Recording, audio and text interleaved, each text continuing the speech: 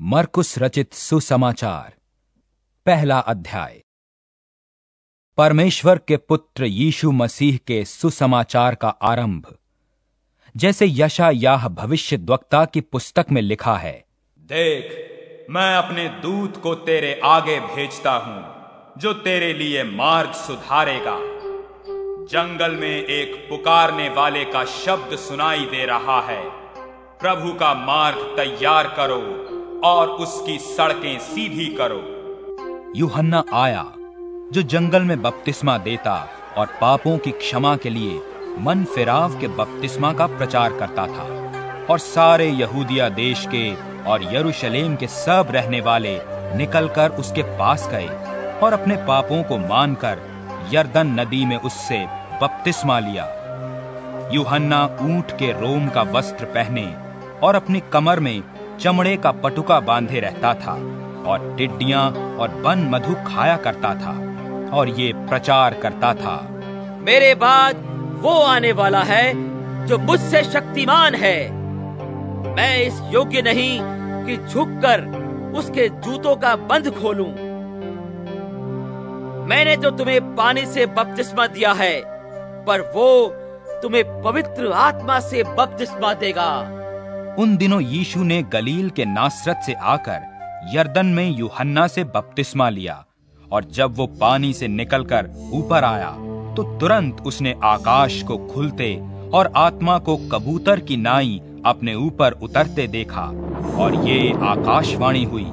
तू मेरा प्रिय पुत्र है तुझसे मैं प्रसन्न हूँ। तब आत्मा ने तुरंत उसको जंगल की ओर भेजा। और जंगल में चालीस दिन तक शैतान ने उसकी परीक्षा की, और वो वन पशुओं के साथ रहा, और स्वर्ग दूत उसकी सेवा करते रहे। यूहन्ना के पकड़वाए जाने के बाद यीशु ने गलील में आकर परमेश्वर के राज्य का सुसमाचार प्रचार किया और कहा, समय पूरा हुआ है, और परमेश्वर का राज्य निकट आ गया है। मन फिराओ! और सुसमाचार पर विश्वास करो। गलील की झील के किनारे जाते हुए उसने शमौन और उसके भाई अंद्रयास को झील में जाल डालते देखा क्योंकि वे मछुए थे। और यीशु ने उनसे कहा मेरे पीछे चले आओ। मैं तुमको मनुष्यों के मछुए बनाऊँगा। वे तुरंत जालों को छोड़कर उसके पीछे हो लिए और कुछ आगे बढ़कर उसने जबदी के पुत्र याकूब और उसके भाई यूहन्ना को नाव पर जालों को सुधारते देखा। उसने तुरंत उन्हें बुलाया और वे अपने पिता जबदी को मजदूरों के साथ नाव पर छोड़कर उसके पीछे चले गए और वे कफरनहूम में आए और वो तुरंत शब्द के दिन सभा के घर में जाकर उपदेश करने लगा। लोग उसके उपदेश से चकित हुए, क्योंकि वो उन्हें शास्त्रियों की नाई नहीं, परंतु अधिकारी की नाई उपदेश देता था, और उसी समय उनकी सभा के घर में एक मनुष्य था, जिसमें अशुद्ध आत्मा थी। उसने चिल्लाकर कहा हमें तुझसे क्या कर क्या तू हमें नाश करने आया है?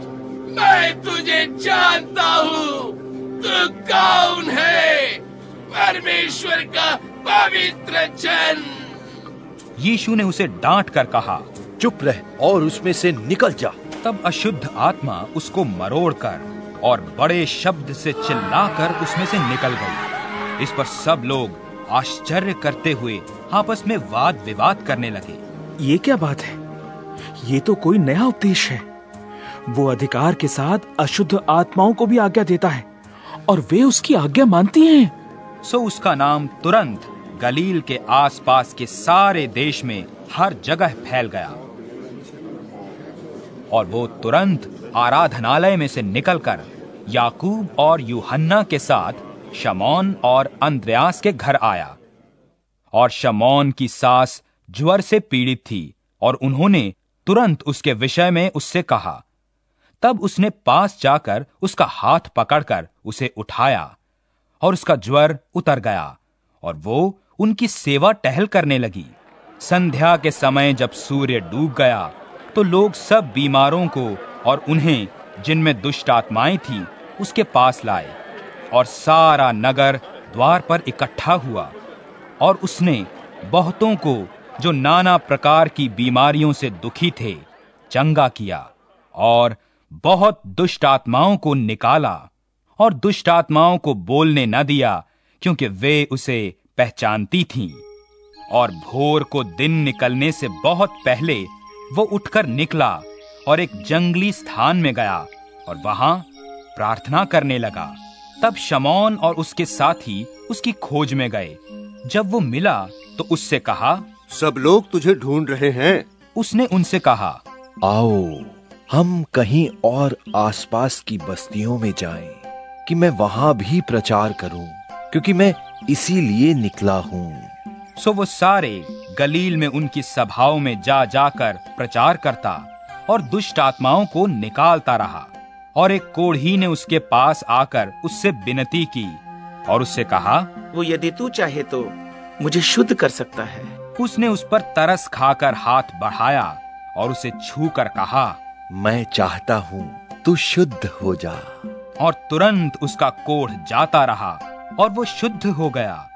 तब उसने उसे चिताकर तुरंत विदा किया और उससे कहा देख किसी से कुछ मत कहना परंतु जाकर अपने आप को याजक को दिखा और अपने शुद्ध होने के विषय में जो कुछ मूसा ने ठहराया है उसे भेंट चढ़ा कि उस पर गवाही हो।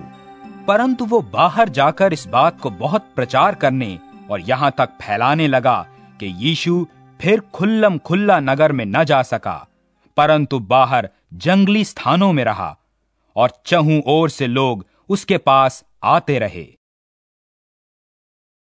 दूसरा अध्याय। कई दिन के बाद वो फिर कफरन हूम में आया और सुना गया कि वो घर में है। फिर इतने लोग इकट्ठे हुए कि द्वार के पास भी जगह नहीं मिली। वो उन्हें वचन सुना रहा था और लोग एक झोले के मारे हुए को चार मनुष्यों से उठवाकर उसके पास ले आए। जब वे भीड़ के कारण उसके निकट न पहुँच सके तो उन्होंने उस छत को, जिसके नीचे वो था, खोल दिया। और जब उसे उधेड़ चुके तो उस खाट को, जिस पर झोले का मारा हुआ पड़ा था, नीचे लटका दिया। यीशु ने उनका विश्वास देखकर उस झोले के मारे हुए से कहा हे पुत्र तेरे पाप क्षमा हुए। तब कई एक शास्त्री जो वहाँ बैठे थे अपने अपने मन में विचार करने लगे। ये मनुष्य क्यों ऐसा कहता है? ये तो परमेश्वर की निंदा करता है। परमेश्वर को छोड़ और कौन पाप क्षमा कर सकता है? यीशु ने तुरंत अपनी आत्मा में जान लिया कि वे अपने अपने मन में ऐसा विचार कर रहे हैं और उनसे कहा तुम अपने अपने मन में ये विचार क्यों कर रहे हो? सहज क्या है? क्या झोले के मारे से ये कहना कि तेरे पाप क्षमा हुए? या ये कहना कि उठ अपनी खाट उठाकर चल फिर। परंतु जिससे तुम जान लो कि मनुष्य के पुत्र को पृथ्वी पर पाप क्षमा करने का भी अधिकार है। उसने उस झोले के मारे हुए से कहा मैं तुझसे कहता हूँ उठ अपनी खाट उठाकर घर चला जा। वो उठा और तुरंत खाट उठाकर सबके सामने से निकलकर चला गया। इस पर सब चकित हुए और परमेश्वर की बड़ाई करके कहने लगे हमने ऐसा कभी नहीं देखा। वो फिर निकलकर झील के किनारे गया और सारी भीड़ उसके पास आई और वो उन्हें उपदेश देने लगा। जाते हुए उसने हलफई के पुत्र को चुंगी की चौकी पर बैठे देखा और उससे कहा मेरे पीछे हो ले। और वो उठकर उसके पीछे हो लिया। जब वो उसके घर में भोजन करने बैठा और बहुत से चुंगी लेने वाले और पापी, यीशु और उसके चेलों के साथ भोजन करने बैठे, क्योंकि वे बहुत थे और उसके पीछे हो लिए थे। शास्त्रियों और फरीसियों ने ये देखकर कि वो पापियों और चुंगी लेने वालों के साथ भोजन कर रहा है, उसके चेलों से कहा वो तो चुंगी लेने वालों और पापियों के साथ खाता पीता है। यीशु ने ये सुनकर उनसे कहा भले चंगों को वैद्य की आवश्यकता नहीं परंतु बीमारों को है। मैं धर्मियों को नहीं परंतु पापियों को बुलाने आया हूँ। यूहन्ना के चेले और फरीसी उपवास करते थे सो उन्होंने आकर उससे कहा यूहन्ना के चेले और फरीसियों के चेले क्यों उपवास रखते हैं? परंतु तेरे चेले उपवास नहीं रखते। यीशु ने उनसे कहा जब तक दूल्हा बरातियों के साथ रहता है क्या वे उपवास कर सकते हैं? सो जब तक दुल्हा उनके साथ है तब तक वे उपवास नहीं कर सकते। परंतु वे दिन आएँगे जब दुल्हा उनसे अलग किया जाएगा। उस समय वे उपवास करेंगे। कोरे कपड़े का पैबंद पुराने पहरावन पर कोई नहीं लगाता। नहीं तो वो पैबंद उसमें से कुछ खींच लेगा। अर्थात नया पुराने से, और वो और भी फट जाएगा। नए दाखरस को पुरानी मशकों में कोई नहीं रखता।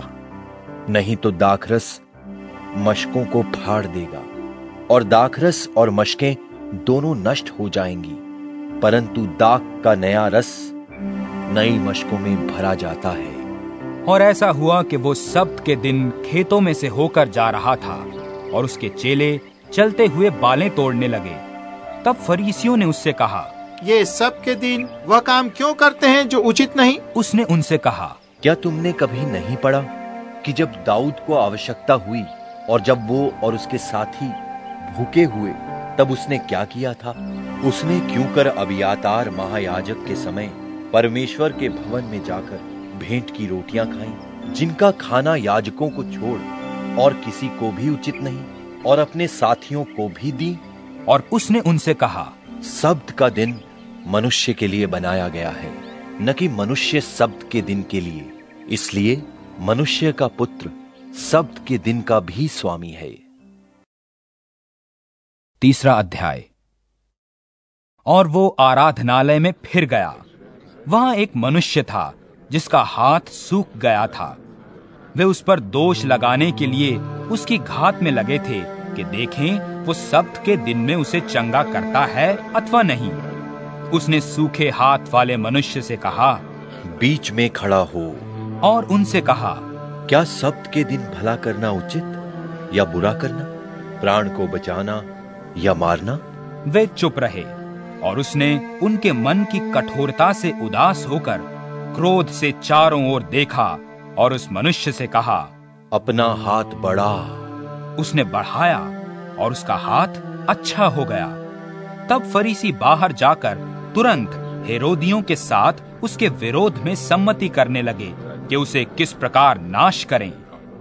और यीशु अपने चेलों के साथ झील की ओर चला गया और गलील से एक बड़ी भीड़ उसके पीछे हो ली और यहूदिया और यरूशलेम और इदूमिया से यर्दन के पार और सूर और सैदा के आसपास से एक बड़ी भीड़ ये सुनकर कि वो कैसे आश्चर्य के काम करता है उसके पास आई और उसने अपने चेलों से कहा भीड़ के कारण एक छोटी नाव मेरे लिए तैयार रहे कि वे मुझे दबा न सके। उसने बहुतों को चंगा किया था और जितने लोग रोग से ग्रसित थे उसे छूने के लिए उस पर गिर पड़ते थे। अशुद्ध आत्माएँ भी जब उसे देखती थीं, तो उसके आगे गिर पड़ती थीं और चिल्लाकर कहती थीं, तू परमेश्वर का पुत्र है! और उसने उन्हें बहुत चिताया कि वे उसे प्रकट ना करें। फिर वो पहाड़ पर चढ़ गया और जिन्हें वो चाहता था उन्हें अपने पास बुलाया और वे उसके पास चले आए। तब उसने बारह पुरुषों को नियुक्त किया कि वे उसके साथ साथ रहें और वो उन्हें भेजे कि प्रचार करें और दुष्ट आत्माओं के निकालने का अधिकार रखें। और वे ये हैं, शमौन जिसका नाम उसने पतरस रखा और जबदी का पुत्र याकूब और याकूब का भाई यूहन्ना, जिनका नाम उसने बू अनर्गिस अर्थात गर्जन के पुत्र रखा। और अंद्रियास, फिलिपुस, बर्तुलमई, मत्ती, थोमा और हल्फई का पुत्र याकूब और तद्दी और शमोन का नानी और यहूदा, स्करियोती, जिसने उसे पकड़वा भी दिया। और वो घर में आया और ऐसी भीड़ इकट्ठी हो गई कि वे रोटी भी न खा सके। जब उसके कुटुंबियों ने यह सुना तो उसे पकड़ने के लिए निकले, क्योंकि कहते थे कि उसका चित ठिकाने नहीं है। और शास्त्री जो यरूशलेम से आए थे ये कहते थे उसमें शैतान है। और ये भी कि वो दुष्ट आत्माओं के सरदार की सहायता से दुष्ट आत्माओं को निकालता है। और वो उन्हें पास बुलाकर उनसे दृष्टांतों में कहने लगा। शैतान क्यों कर शैतान को निकाल सकता है? यदि किसी राज्य में फूट पड़े तो वो राज्य कैसे स्थिर रह सकता है? यदि किसी घर में फूट पड़े तो वो घर क्यों कर स्थिर रह सकेगा? और यदि शैतान अपना ही विरोधी होकर अपने में फूट डाले तो वो कैसे बना रह सकता है? उसका तो अंत ही हो जाता है।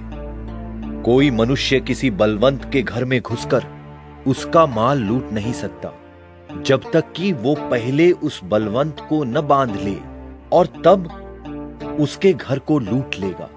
मैं तुमसे सच कहता हूँ मनुष्यों की संतान के सब पाप निंदा जो वे करते हैं क्षमा की जाएगी।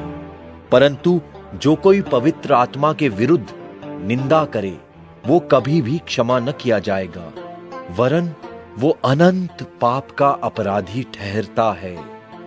क्योंकि वे ये कहते थे कि उसमें अशुद्ध आत्मा है। और उसकी माता और उसके भाई आए और बाहर खड़े होकर उसे बुलवा भेजा।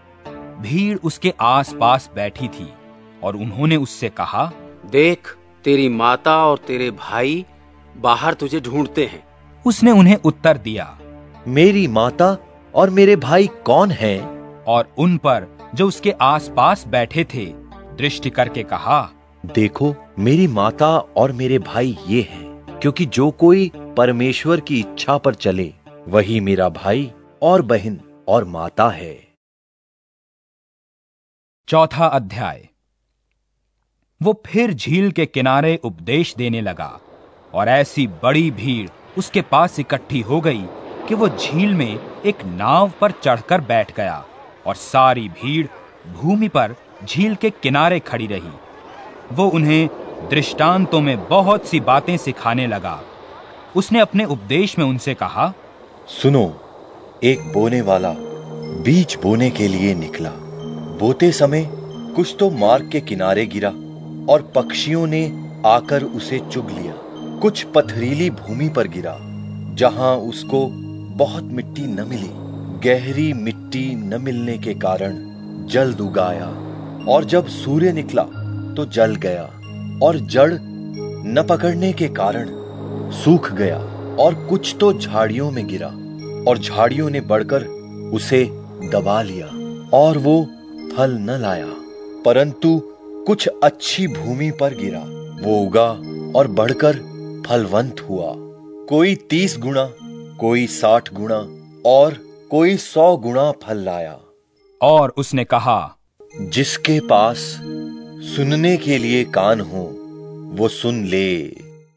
जब वो अकेला रह गया तो उसके साथियों ने उन बारह समेत उससे इन दृष्टांतों के विषय में पूछा उसने उनसे कहा, तुमको तो परमेश्वर के राज्य के भेद की समझ दी गई है, परंतु बाहर वालों के लिए सब बातें दृष्टांतों में होती हैं, इसलिए कि वे देखते हुए देखें और उन्हें सुझाई न पड़े और सुनते हुए सुने भी और न समझें। ऐसा न हो कि वे फिरें। और क्षमा किए जाएँ।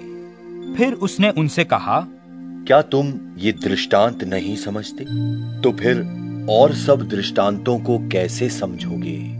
बोने वाला वचन बोता है जो मार्ग के किनारे के हैं जहाँ वचन बोया जाता है। ये वे हैं कि जब उन्होंने सुना तो शैतान तुरंत आकर वचन को जो उनमें बोया गया था उठा ले जाता है।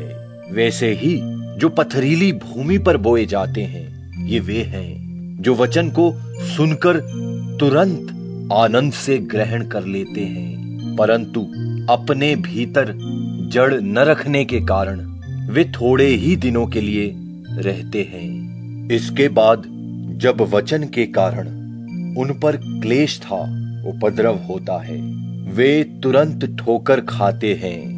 और जो झाड़ियों में बोए गए, ये वे हैं जिन्होंने वचन सुना और संसार की चिंता और धन का धोखा और और वस्तुओं का लोभ उनमें समाकर वचन को दबा देता है और वो निष्फल रह जाता है और जो अच्छी भूमि में बोए गए, ये वे हैं जो वचन सुनकर ग्रहण करते और फल लाते हैं। कोई तीस गुणा कोई साठ गुणा और कोई सौ गुणा। और उसने उनसे कहा क्या दिए को इसलिए लाते हैं कि पैमाने या खाट के नीचे रखा जाए? क्या इसलिए नहीं कि दीवट पर रखा जाए? क्योंकि कोई वस्तु छिपी नहीं जो प्रकाश में न लाई जाए और न कुछ गुप्त है। जो प्रकट न किया जाए। यदि किसी के सुनने के कान हो तो सुन ले। फिर उसने उनसे कहा चौकस रहो कि क्या सुनते हो। जिस नाप से तुम नापते हो उसी से तुम्हारे लिए भी नापा जाएगा और तुमको अधिक दिया जाएगा क्योंकि जिसके पास है उसको दिया जाएगा। परंतु जिसके पास नहीं है उससे वो भी जो उसके पास है ले लिया जाएगा। फिर उसने कहा परमेश्वर का राज्य ऐसा है जैसे कोई मनुष्य भूमि पर बीज छींटे और रात को सोए और दिन को जागे और वो बीज ऐसे उगे और बढ़े कि वो न जाने। पृथ्वी आप से आप फल लाती है। पहले अंकुर तब बाल और तब बालों में तैयार दाना। परंतु जब दाना पक जाता है तब वो तुरंत हंसिया लगाता है क्योंकि कटनी आ पहुँची है। फिर उसने कहा हम परमेश्वर के राज्य की उपमा किससे दें? और किस दृष्टांत से उसका वर्णन करें। वो राई के दाने के समान हैं।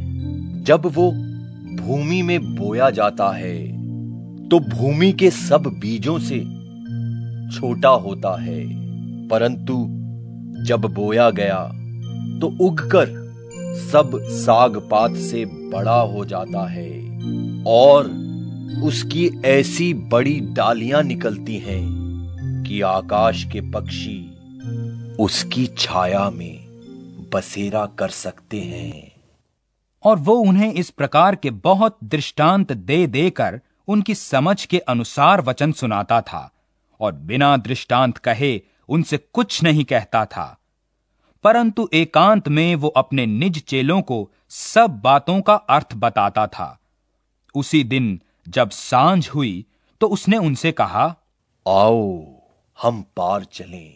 और वे भीड़ को छोड़कर, जैसा वो था, वैसा ही उसे नाव पर साथ ले चले, और उसके साथ और भी नावें थी। तब बड़ी आंधी आई, और लहरें नाव पर यहाँ तक लगी कि वो अब पानी से भरी जाती थी, और वो आप पिछले भाग में गद्दी पर सो रहा था। तब उन्होंने उसे जगाकर उससे कहा, हे गुरु क्या तुझे चिंता नहीं कि हम नाश हुए जाते हैं? तब उसने उठकर आंधी को डांटा और पानी से कहा शांत रह थम जा। और आंधी थम गई और बड़ा चैन हो गया। और उनसे कहा तुम क्यों डरते हो? क्या तुम्हें अब तक विश्वास नहीं? और वे बहुत ही डर गए और आपस में बोले ये कौन है? क्या आंधी और पानी भी उसकी आज्ञा मानते हैं? पांचवा अध्याय। और वे झील के पार गिरासेनियों के देश में पहुँचे। जब वो नाव पर से उतरा तो तुरंत एक मनुष्य, जिसमें अशुद्ध आत्मा थी, कब्रों से निकलकर उसे मिला। वो कब्रों में रहा करता था, और कोई उसे सांकलों से भी न बाँध सकता था। वो बार बार बेड़ियों और सांकलों से बांधा गया था, पर उसने सांकलों को तोड़ दिया। और बेड़ियों के टुकड़े टुकड़े कर दिए थे, और कोई उसे वश में नहीं कर सकता था। वो लगातार रात, दिन, कब्रों और पहाड़ों में चिल्लाता और अपने को पत्थरों से घायल करता था। वो यीशु को दूर ही से देखकर दौड़ा और उसे प्रणाम कर ऊँचे शब्द से चिल्लाकर बोला परमेश्वर के पुत्र! मुझे तुझसे क्या काम?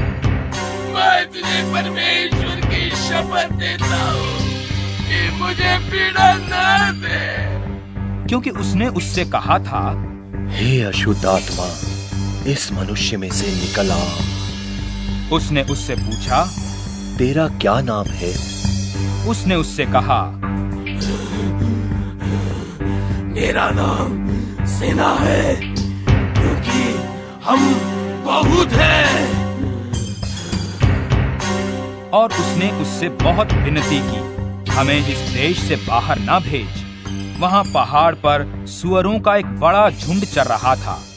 और उन्होंने उससे विनती कर कहा हमें उन सुअरों में भेज दे कि हम उनके भीतर जाए। सो उसने उन्हें आज्ञा दी। और अशुद्ध आत्मा निकलकर सुअरों के भीतर बैठ गई और झुंड, जो कोई दो हज़ार का था, कड़ाड़े पर से झपट कर झील में जा पड़ा और डूब मरा और उनके चरवाहों ने भागकर नगर और गाँवों में समाचार सुनाया।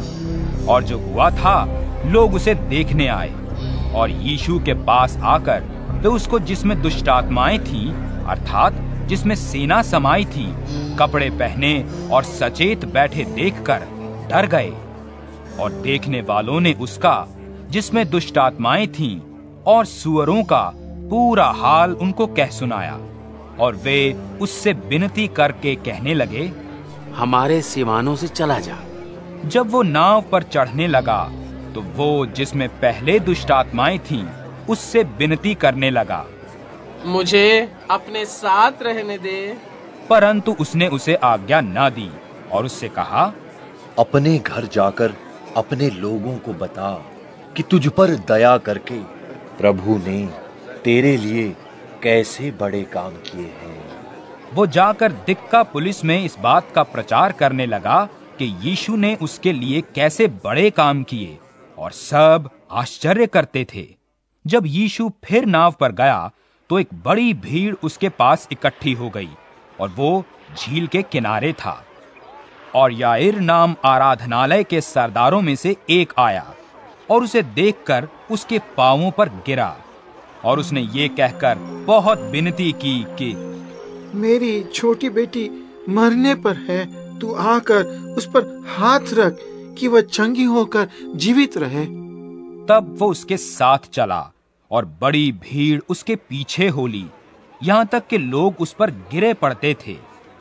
और एक स्त्री, जिसको बारह वर्ष से लहू बहने का रोग था, और जिसने बहुत वैद्यों से बड़ा दुख उठाया, और अपना सब माल व्यय करने पर भी कुछ लाभ न उठाया था, परंतु और भी रोगी हो गई थी। यीशु की चर्चा सुनकर भीड़ में उसके पीछे से आई और उसके वस्त्र को छू लिया। उसने कहा यदि मैं उसके वस्त्र को ही छू लूँगी तो चंगी हो जाऊँगी। और तुरंत उसका लहू बहना बंद हो गया और उसने अपनी देह में जान लिया कि वो उस बीमारी से अच्छी हो गई। यीशु ने तुरंत अपने में जान लिया कि उसमें से सामर्थ निकली है और भीड़ में पीछे फिरकर पूछा मेरा वस्त्र किसने छुआ? उसके चेलों ने उससे कहा तू देखता है कि भीड़ तुझ पर गिरी पड़ती है। और तू कहता है किसने मुझे छुआ? तब उसने उसे देखने के लिए जिसने ये काम किया था चारों ओर दृष्टि की। तब वो स्त्री ये जानकर कि उसकी कैसी भलाई हुई है डरती और कांपती हुई आई और उसके पांवों पर गिरकर उससे सब हाल सच सच कह दिया। उसने उससे कहा पुत्री तेरे विश्वास ने तुझे चंगा किया है। कुशल से जा और अपनी इस बीमारी से बची रहे। वो ये कह ही रहा था कि आराधनालय के सरदार के घर से लोगों ने आकर कहा तेरी बेटी तो मर गई। अब गुरु को क्यों दुख देता है? जो बात वे कह रहे थे उसको यीशु ने अनसुनी करके आराधनालय के सरदार से कहा मत डर केवल विश्वास रख। और उसने पत्रस और याकूब और याकूब के भाई यूहन्ना को छोड़ और किसी को अपने साथ आने न दिया। और आराधनालय के सरदार के घर में पहुंचकर उसने लोगों को बहुत रोते और चिल्लाते देखा। तब उसने भीतर जाकर उनसे कहा तुम क्यों हल्ला मचाते और रोते हो? लड़की मरी नहीं परंतु सो रही है। वे उसकी हँसी करने लगे। परंतु उस सबको निकाल कर लड़की के माता पिता और अपने साथियों को ले वो भीतर गया जहाँ लड़की पड़ी थी। लड़की का हाथ पकड़कर उससे कहा तलीता कुमी। जिसका अर्थ है हे लड़की मैं तुझसे कहता हूँ उठ। लड़की तुरंत उठकर चलने फिरने लगी क्योंकि वो बारह वर्ष की थी। इस पर लोग बहुत चकित हो गए। फिर उसने उन्हें चिताकर आज्ञा दी कि ये बात कोई जानने न पाए और कहा उसे कुछ खाने को दिया जाए। छठा अध्याय।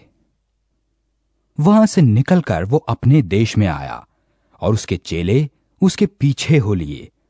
सब्त के दिन वो आराधनालय में उपदेश करने लगा और बहुत लोग सुनकर चकित हुए और कहने लगे इसको ये बातें कहाँ से आ गई?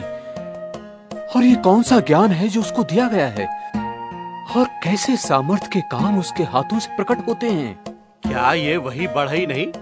जो मरियम का पुत्र और याकूब और योसेस और यहूदा और शमौन का भाई है? और क्या उसकी बहनें यहाँ हमारे बीच में नहीं रहती? इसलिए उन्होंने उसके विषय में ठोकर खाई। यीशु ने उनसे कहा भविष्य वक्ता अपने देश और अपने कुटुंब और अपने घर को छोड़ और कहीं भी निरादर नहीं होता। और वो वहाँ कोई सामर्थ का काम न कर सका। केवल थोड़े बीमारों पर हाथ रखकर उन्हें चंगा किया, और उसने उनके अविश्वास पर आश्चर्य किया और चारों ओर के गाँवों में उपदेश करता फिरा, और वो बारहों को अपने पास बुलाकर उन्हें दो दो करके भेजने लगा और उन्हें अशुद्ध आत्माओं पर अधिकार दिया, और उसने उन्हें आज्ञा दी। मार्ग के लिए लाठी छोड़ और कुछ न लो। न तो रोटी न झोली न पटुके में पैसे परंतु जूतियाँ पहनो और दो दो कुर्ते न पहनो। और उसने उनसे कहा जहाँ कहीं तुम किसी घर में उतरो तो जब तक वहाँ से विदा न हो तब तक उसी में ठहरे रहो। जिस स्थान के लोग तुम्हें ग्रहण न करें और तुम्हारी न सुने वहाँ से चलते ही अपने पैरों की धूल झाड़ डालो कि उन पर गवाही हो। और उन्होंने जाकर प्रचार किया कि मन फिराएँ और बहुत दुष्ट आत्माओं को निकाला और बहुत बीमारों पर तेल मलकर उन्हें चंगा किया। और हेरो देश राजा ने उसकी चर्चा सुनी, क्योंकि उसका नाम फैल गया था। उसने कहा यूहन्ना बपतिस्मा देने वाला मरे हुओं में से जी उठा है। इसलिए उससे ये सामर्थ्य के काम प्रकट होते हैं। औरों ने कहा ये एलिया है। परंतु दूसरों ने कहा भविष्य दोक्ता या भविष्य दोक्ताओं में से किसी एक के समान है। हेरोदेस ने ये सुनकर कहा जिस यहुन्ना का सर मैंने कटवाया था वही जी उठा है। क्योंकि हेरोदेस ने अपने भाई फिलिपुस की पत्नी हेरोदियास के कारण जिससे उसने ब्याह किया था लोगों को भेजकर यूहन्ना को पकड़वाकर बंदी गृह में डाल दिया था। यूहन्ना ने हेरोदेस से कहा था अपने भाई की पत्नी को रखना तुझे उचित नहीं। इसलिए हेरोदियास उससे बैर रखती थी और ये चाहती थी कि उसे मरवा डाले परंतु ऐसा न हो सका क्योंकि हेरोदेस यूहन्ना को धर्मी और पवित्र पुरुष जानकर उससे डरता था और उसे बचाए रखता था और उसकी सुनकर बहुत घबराता था, पर आनंद से सुनता था। और ठीक अवसर पर जब हेरोदेस ने अपने जन्मदिन में अपने प्रधानों और सेनापतियों और गलील के बड़े लोगों के लिए जेवनार की, उसी हेरोदियास की बेटी भीतर आई और नाचकर हेरोदेस को और उसके साथ बैठने वालों को प्रसन्न किया। तब राजा ने लड़की से कहा तू जो चाहे उससे मांग मैं तुझे दूँगा। उससे शपथ खाई। मैं अपने आधे राज्य तक जो कुछ तू मुझसे मांगेगी तुझे दूँगा। उसने बाहर जाकर अपनी माता से पूछा मैं क्या मांगू? वो बोली यूहन्ना बपतिस्मा देने वाले का सिर। वो तुरंत राजा के पास भीतर आई और उससे विनती की मैं चाहती हूँ कि तू अभी यूहन्ना बपतिस्मा देने वाले का सिर एक थाल में मुझे मंगवा दे। तब राजा बहुत उदास हुआ, परंतु अपनी शपथ के कारण और साथ बैठने वालों के कारण उसे टालना न चाहा, और राजा ने तुरंत एक सिपाही को आज्ञा देकर भेजा कि उसका सिर काट लाए। उसने जेल खाने में जाकर उसका सिर काटा और एक थाल में रख कर लाया और लड़की को दिया, और लड़की ने अपनी माँ को दिया। ये सुनकर उसके चेले आए और उसके शव को उठाकर कब्र में रखा। प्रेरितों ने यीशु के पास इकट्ठे होकर जो कुछ उन्होंने किया और सिखाया था सब उसको बता दिया। उसने उनसे कहा तुम आप अलग किसी जंगली स्थान में आकर थोड़ा विश्राम करो। क्योंकि बहुत लोग आते जाते थे और उन्हें खाने का अवसर भी नहीं मिलता था इसलिए वे नाव पर चढ़कर सुनसान जगह में अलग चले गए और बहुतों ने उन्हें जाते देखकर पहचान लिया। और सब नगरों से इकट्ठे होकर वहाँ पैदल दौड़े और उनसे पहले जा पहुँचे। उसने निकलकर बड़ी भीड़ देखी और उन पर तरस खाया, क्योंकि वे उन भेड़ों के समान थे जिनका कोई रखवाला न हो। और वो उन्हें बहुत सी बातें सिखाने लगा।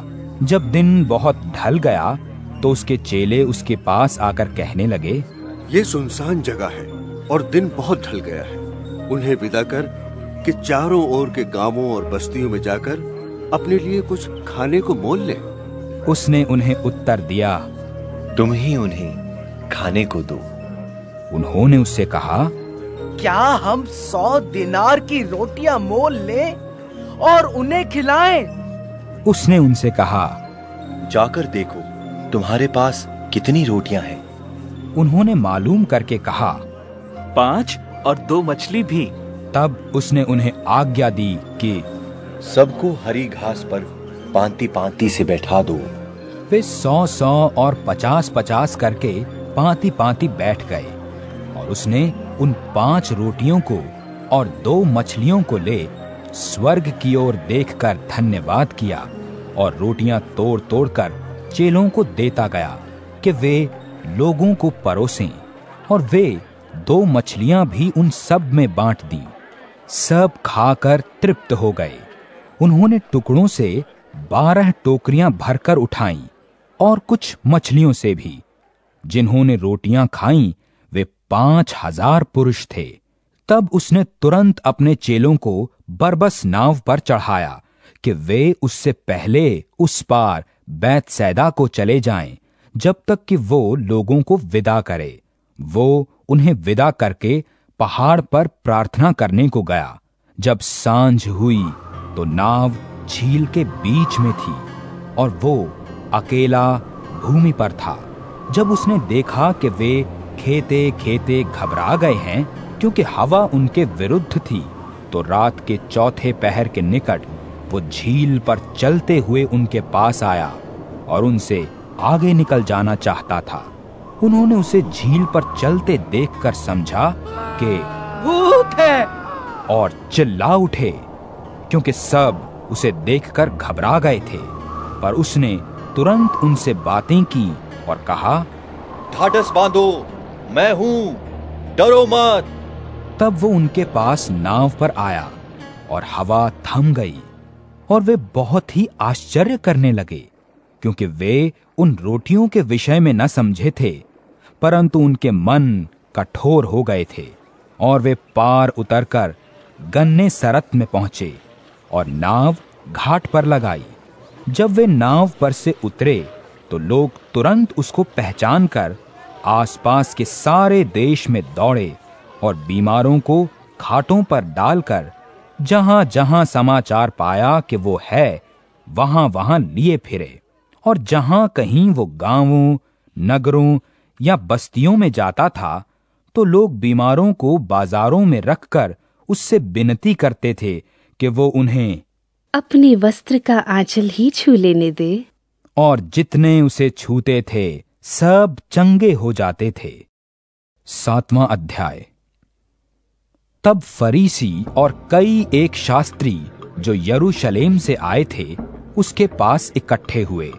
उन्होंने उसके कई एक चेलों को अशुद्ध, अर्थात बिना हाथ धोए रोटी खाते देखा।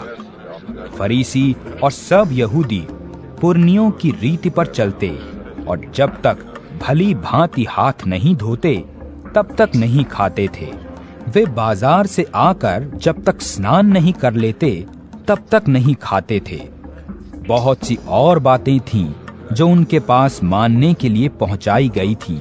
जैसे कटोरों और लोटों और तांबे के बर्तनों को धोना मांजना उन फरीसियों और शास्त्रियों ने उससे पूछा तेरे चेले क्यों पुर्नियों की रीतों पर नहीं चलते और बिना हाथ धोई रोटी खाते हैं? उसने उनसे कहा यशाया ने तुम कपटियों के विषय में बहुत ठीक भविष्यवाणी की। जैसा लिखा है ये लोग होठों से तो मेरा आदर करते हैं पर उनका मन मुझसे दूर रहता है। ये व्यर्थ मेरी उपासना करते हैं। मनुष्यों की आज्ञाओं को धर्मोपदेश करके सिखाते हैं। तुम परमेश्वर की आज्ञा को टालकर मनुष्यों की रीतियों को मानते हो। और उसने उनसे कहा तुम अपनी रीतियों को मानने के लिए परमेश्वर की आज्ञा कैसी अच्छी तरह टाल देते हो। मूसा ने कहा है कि अपने पिता और अपनी माता का आदर कर। और जो कोई पिता व माता को बुरा कहे, वो अवश्य मार डाला जाए। परंतु तुम कहते हो कि यदि कोई अपने पिता व माता से कहे कि जो कुछ तुझे मुझसे लाभ पहुँच सकता था, वो कुर्बान अर्थात संकल्प हो चुका। तो तुम उसको, उसके पिता या उसकी माता की कुछ सेवा करने नहीं देते। इस प्रकार तुम अपनी रीतियों से जिन्हें तुमने ठहराया है परमेश्वर का वचन टाल देते हो और ऐसे ऐसे बहुत से काम करते हो। उसने लोगों को अपने पास बुलाकर उनसे कहा तुम सब मेरी सुनो और समझो ऐसी तो कोई वस्तु नहीं जो मनुष्य में बाहर से समाकर अशुद्ध करे परंतु जो वस्तुएँ मनुष्य के भीतर से निकलती हैं वे ही उसे अशुद्ध करती हैं। यदि किसी के सुनने के कान हो तो सुन ले। जब वो भीड़ के पास से घर में गया तो उसके चेलों ने इस दृष्टांत के विषय में उससे पूछा। उसने उनसे कहा क्या तुम भी ऐसे न समझ हो? क्या तुम नहीं समझते कि जो वस्तु बाहर से मनुष्य के भीतर जाती है वो उसे अशुद्ध नहीं कर सकती क्योंकि वो उसके मन में नहीं परंतु पेट में जाती है और संडास में निकल जाती है। ये कहकर उसने सब भोजन वस्तुओं को शुद्ध ठहराया। फिर उसने कहा जो मनुष्य के भीतर से निकलता है वही मनुष्य को अशुद्ध करता है क्योंकि भीतर से अर्थात मनुष्य के मन से बुरी चिंता व्यभिचार, चोरी, हत्या, परस्त्रीगमन, लोभ, दुष्टता, छल, लुचपन, कुदृष्टि, निंदा, अभिमान और मूर्खता निकलती है। ये सब बुरी बातें भीतर ही से निकलती हैं और मनुष्य को अशुद्ध करती हैं। फिर वो वहाँ से उठकर सूर और सैदा के देशों में आया और एक घर में गया और चाहता था कि कोई ना जाने परंतु वो छिप ना सका और तुरंत एक स्त्री जिसकी छोटी बेटी में अशुद्ध आत्मा थी उसकी चर्चा सुनकर आई और उसके पांवों पर गिरी। ये यूनानी और सूरुफिनी जाति की थी और उसने उससे विनती की मेरी बेटी में से दुष्ट आत्मा निकाल दे। उसने उससे कहा पहले लड़कों को तृप्त होने दे क्योंकि लड़कों की रोटी लेकर कुत्तों के आगे डालना उचित नहीं है। उसने उसको उत्तर दिया। सच है प्रभु। तो भी कुत्ते भी तो मेज के नीचे बालकों की रोटी का चूर चार खा लेते हैं। उसने उससे कहा इस बात के कारण चली जा। दुष्टात्मा तेरी बेटी में से निकल गई है। और उसने अपने घर आकर देखा कि लड़की खाट पर पड़ी है और दुष्टात्मा निकल गई है।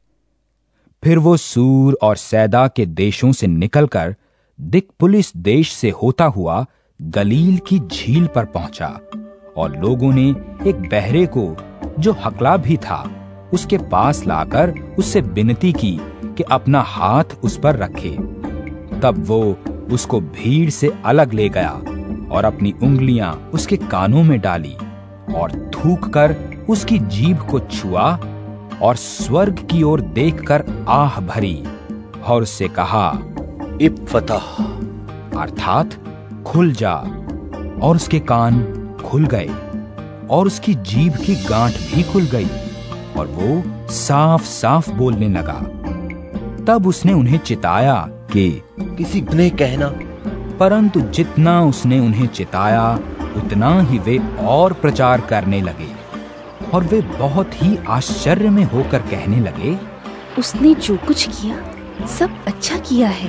वह बहरों को सुनने की और गूंगों को बोलने की शक्ति देता है।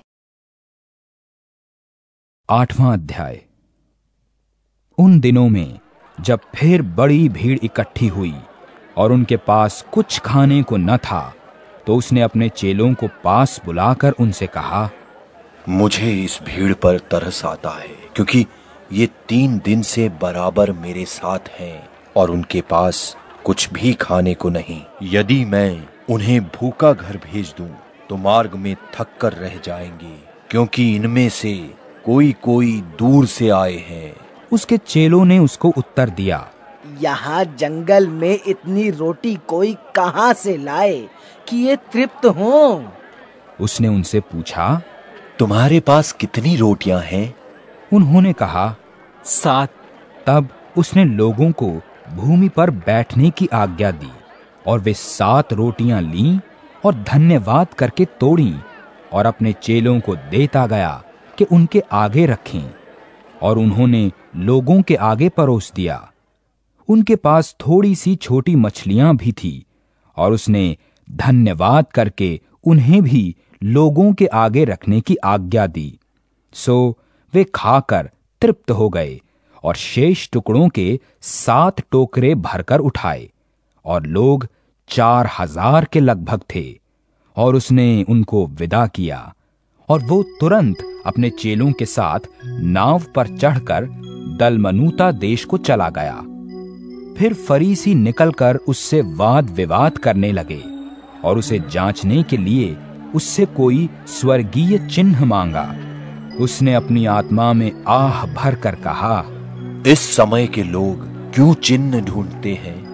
मैं तुमसे सच कहता हूँ कि इस समय के लोगों को कोई चिन्ह नहीं दिया जाएगा। और वो उन्हें छोड़कर फिर नाव पर चढ़ गया और पार चला गया और वे रोटी लेना भूल गए थे और नाव में उनके पास एक ही रोटी थी। और उसने उन्हें चिताया कि देखो फरीसियों के खमीर और हेरोदेस के खमीर से चौकस रहो। वे आपस में विचार कर कहने लगे हमारे पास तो रोटी नहीं है। ये जानकर यीशु ने उनसे कहा तुम क्यों आपस में ये विचार कर रहे हो कि हमारे पास रोटी नहीं? क्या अब तक नहीं जानते और नहीं समझते? क्या तुम्हारा मन कठोर हो गया है? क्या आँखें रखते हुए भी नहीं देखते और कान रखते हुए भी नहीं सुनते? और तुम्हें स्मरण नहीं कि जब मैंने पाँच हज़ार के लिए पाँच रोटी तोड़ी थी तो तुमने टुकड़ों की कितनी टोकरियाँ भरकर उठाई? उन्होंने उससे कहा बारह टोकरियाँ। और जब चार के लिए सात रोटी तोड़ी थी तो तुमने टुकड़ों के कितने टोकरे भरकर उठाए थे? उन्होंने उससे कहा सात टोकरियाँ उसने उनसे कहा क्या तुम अब तक नहीं समझते? और वे बैत सैदा में आए और लोग एक अंधे को उसके पास ले आए और उससे विनती की कि उसको छुए। वो उस अंधे का हाथ पकड़कर उसे गाँव के बाहर ले गया और उसकी आँखों में थूक कर उस पर हाथ रखे और उससे पूछा क्या तू कुछ देखता है? उसने आँख उठाकर कहा मैं मनुष्यों को देखता हूँ क्योंकि वो मुझे चलते हुए दिखाई देते हैं जैसे पेड़। तब उसने फिर दोबारा उसकी आँखों पर हाथ रखे और उसने ध्यान से देखा और चंगा हो गया और सब कुछ साफ़ साफ़ देखने लगा और उसने ये कहकर उसे घर भेजा कि इस गाँव के भीतर पाँव भी न रखना। यीशु और उसके चेले कैसरिया फिलिपी के गाँवों में चले गए और मार्ग में उसने अपने चेलों से पूछा लोग मुझे क्या कहते हैं? उन्होंने उत्तर दिया यूहन्ना बपतिस्मा देने वाला पर कोई एलिया और कोई भविष्य दक्ताओं में से एक भी कहते हैं? उसने उनसे पूछा परंतु तुम मुझे क्या कहते हो? पतरस ने उसको उत्तर दिया तू मसीह है। तब उसने उन्हें चिता कर कहा मेरे विषय में ये किसी से न कहना। और वो उन्हें सिखाने लगा कि मनुष्य के लिए अवश्य है कि वो बहुत दुख उठाए और पुरनिये और महायाजक और शास्त्री उसे तुच्छ समझकर मार डाले और वो तीन दिन के बाद जी उठे। उसने ये बात उनसे साफ़ साफ़ कह दी। इस पर पत्रस उसे अलग ले जाकर झिड़कने लगा। परंतु उसने फिर कर और अपने चेलों की ओर देखकर पत्रस को झिड़क कर कहा हे शैतान मेरे सामने से दूर हो क्योंकि तू परमेश्वर की बातों पर नहीं परंतु मनुष्यों की बातों पर मन लगाता है। उसने भीड़ को अपने चेलों समेत पास बुलाकर उनसे कहा जो कोई मेरे पीछे आना चाहे वो अपने आपे से इनकार करे और अपना क्रूस उठाकर मेरे पीछे हो ले, क्योंकि जो कोई अपना प्राण बचाना चाहे, वो उसे खोएगा। पर जो कोई मेरे और सुसमाचार के लिए अपना प्राण खोएगा, वो उसे बचाएगा। यदि मनुष्य सारे जगत को प्राप्त करे और अपने प्राण की हानि उठाए तो उसे क्या लाभ होगा? और मनुष्य अपने प्राण के बदले क्या देगा? जो कोई इस व्यभिचारी और पापी जाति के बीच मुझसे और मेरी बातों से लज जाएगा मनुष्य का पुत्र भी जब वो पवित्र दूतों के साथ अपने पिता की महिमा सहित आएगा तब उससे लज जाएगा। नौवा अध्याय। और उसने उनसे कहा मैं तुमसे सच कहता हूँ कि जो यहाँ खड़े हैं उनमें से कोई कोई ऐसे हैं कि जब तक परमेश्वर के राज्य को सामर्थ सहित आया हुआ न देख लें, तब तक मृत्यु का स्वाद कदापि न चखेंगे। छह दिन के बाद यीशु ने पत्रस, याकूब और यूहन्ना को साथ लिया और उन्हें एकांत में किसी ऊँचे पहाड़ पर ले गया और उनके सामने उसका रूप बदल गया। और उसका वस्त्र ऐसा चमकने लगा और यहाँ तक अति उज्जवल हुआ कि पृथ्वी पर कोई भी धोबी वैसा उज्जवल नहीं कर सकता और उन्हें मूसा के साथ एलियाह दिखाई दिया और वे यीशु के साथ बातें करते थे। इस पर पत्रस ने यीशु से कहा, हे रब्बी, हमारा यहाँ रहना अच्छा है, इसलिए हम तीन मंडप बनाए, एक तेरे लिए एक मूसा के लिए और एक एलिया के लिए। क्योंकि वो नहीं जानता था कि क्या कहे क्योंकि वे बहुत डर गए थे। तब एक बादल ने उन्हें छा लिया और उस बादल में से ये शब्द निकला ये मेरा प्रिय पुत्र है उसकी सुनो। तब उन्होंने एकाएक चारों ओर दृष्टि की और यीशु को छोड़ अपने साथ और किसी को न पाया। पहाड़ से उतरते हुए उसने उन्हें आज्ञा दी। जब तक मनुष्य का पुत्र मरे हुओं में से जी न उठे तब तक जो कुछ तुमने देखा है वो किसी से न कहना। उन्होंने इस बात को स्मरण रखा और आपस में वाद विवाद करने लगे। मरे हुओं में से जी उठने का क्या अर्थ है? और उन्होंने उससे पूछा शास्त्री क्यों कहते हैं कि एलिया का पहले आना अवश्य है? उसने उत्तर दिया एलिया सचमुच पहले आकर सब कुछ सुधारेगा परंतु मनुष्य के पुत्र के विषय में ये क्यों लिखा है कि वो बहुत दुख उठाएगा और तुच्छ गिना जाएगा? परंतु मैं तुमसे कहता हूँ एलिया तो आ चुका और जैसा उसके विषय में लिखा है उन्होंने जो कुछ चाहा उसके साथ किया। और जब वो चेलों के पास आया तो देखा कि उनके चारों ओर बड़ी भीड़ लगी है और शास्त्री उनके साथ विवाद कर रहे हैं। उसे देखते ही सब बहुत ही आश्चर्य करने लगे और उसकी ओर दौड़कर उसे नमस्कार किया। उसने उनसे पूछा तुम इनसे क्या विवाद कर रहे हो? भीड़ में से एक ने उत्तर दिया हे गुरु मैं अपने पुत्र को जिसमें गूँगी आत्मा समाई है तेरे पास लाया था। जहाँ कहीं वो उसे पकड़ती है वहीं पटक देती। और वो मुँह में फेन भर लाता और दांत पीसता और सूखता जाता है। मैंने तेरे चेलों से कहा कि वो उसे निकाल दे परंतु वो निकाल न सके। ये सुनकर उसने उत्तर में उनसे कहा हे अविश्वासी लोगों मैं कब तक तुम्हारे साथ रहूँगा और कब तक तुम्हारी सहूँगा? उसे मेरे पास लाओ।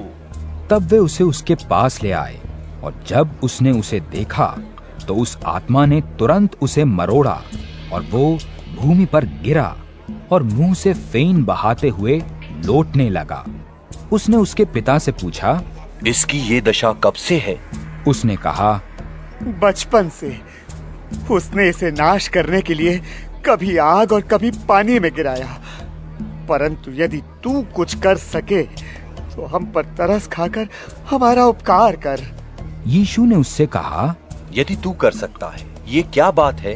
विश्वास करने वाले के लिए सब कुछ हो सकता है। बालक के पिता ने तुरंत गिड़गिड़ा कर कहा हे प्रभु मैं विश्वास करता हूँ। मेरे अविश्वास का उपाय कर। जब यीशु ने देखा कि लोग दौड़कर भीड़ लगा रहे हैं तो उसने अशुद्ध आत्मा को ये कहकर डांटा हे गूँगी और बहरी आत्मा मैं तुझे आज्ञा देता हूँ। उसमें से निकला और उसमें फिर कभी प्रवेश न कर। तब वो चिल्लाकर और उसे बहुत मरोड़ कर निकल आई और बालक मरा हुआ सा हो गया। यहाँ तक कि बहुत लोग कहने लगे कि वो मर गया। परंतु यीशु ने उसका हाथ पकड़कर उसे उठाया और वो खड़ा हो गया। जब वो घर में आया तो उसके चेलों ने एकांत में उससे पूछा हम उसे क्यों ना निकाल सके? उसने उनसे कहा ये जाति बिना प्रार्थना किसी और उपाय से नहीं निकल सकती। फिर वे वहाँ से चले और गलील में होकर जा रहे थे और वो नहीं चाहता था कि कोई जाने क्योंकि वो अपने चेलों को उपदेश देता और उनसे कहता था कि मनुष्य का पुत्र मनुष्यों के हाथ में पकड़वाया जाएगा और वे उसे मार डालेंगे और वो मरने के तीन दिन बाद जी उठेगा। पर यह बात उनकी समझ में नहीं आई और वे उसे पूछने से डरते थे। फिर वे कफरन हूम में आए और घर में आकर उसने उनसे पूछा रास्ते में तुम किस बात पर विवाद करते थे?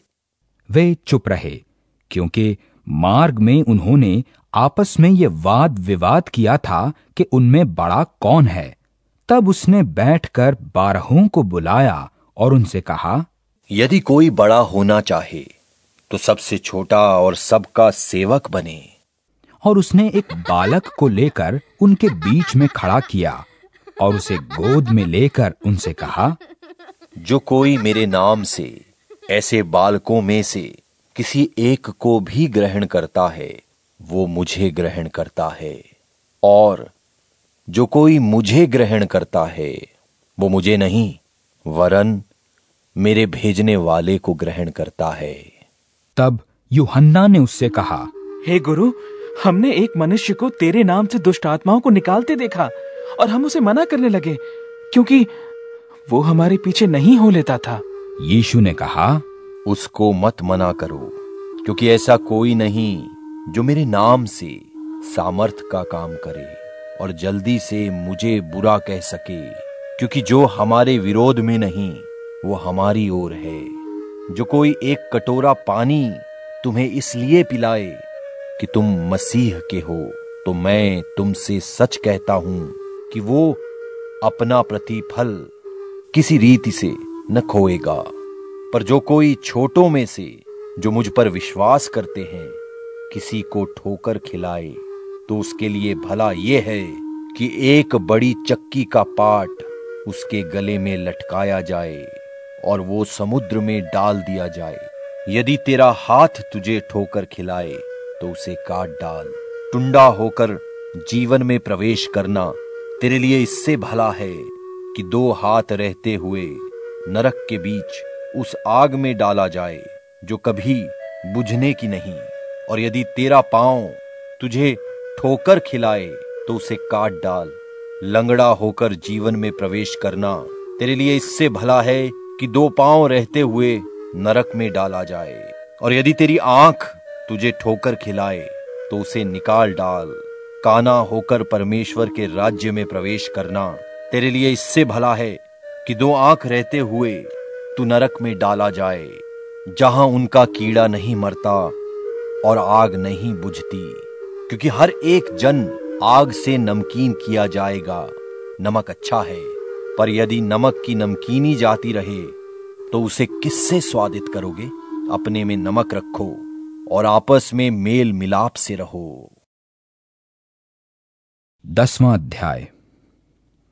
फिर वो वहाँ से उठकर यहूदिया के सिवानों में और यर्दन के पार आया और भीड़ उसके पास फिर इकट्ठी हो गई और वो अपनी रीति के अनुसार उन्हें फिर उपदेश देने लगा। तब फरीसियों ने उसके पास आकर उसकी परीक्षा करने को उससे पूछा क्या यह उचित है कि पुरुष अपनी पत्नी को त्यागे? उसने उनको उत्तर दिया मूसा ने तुम्हें क्या आज्ञा दी है?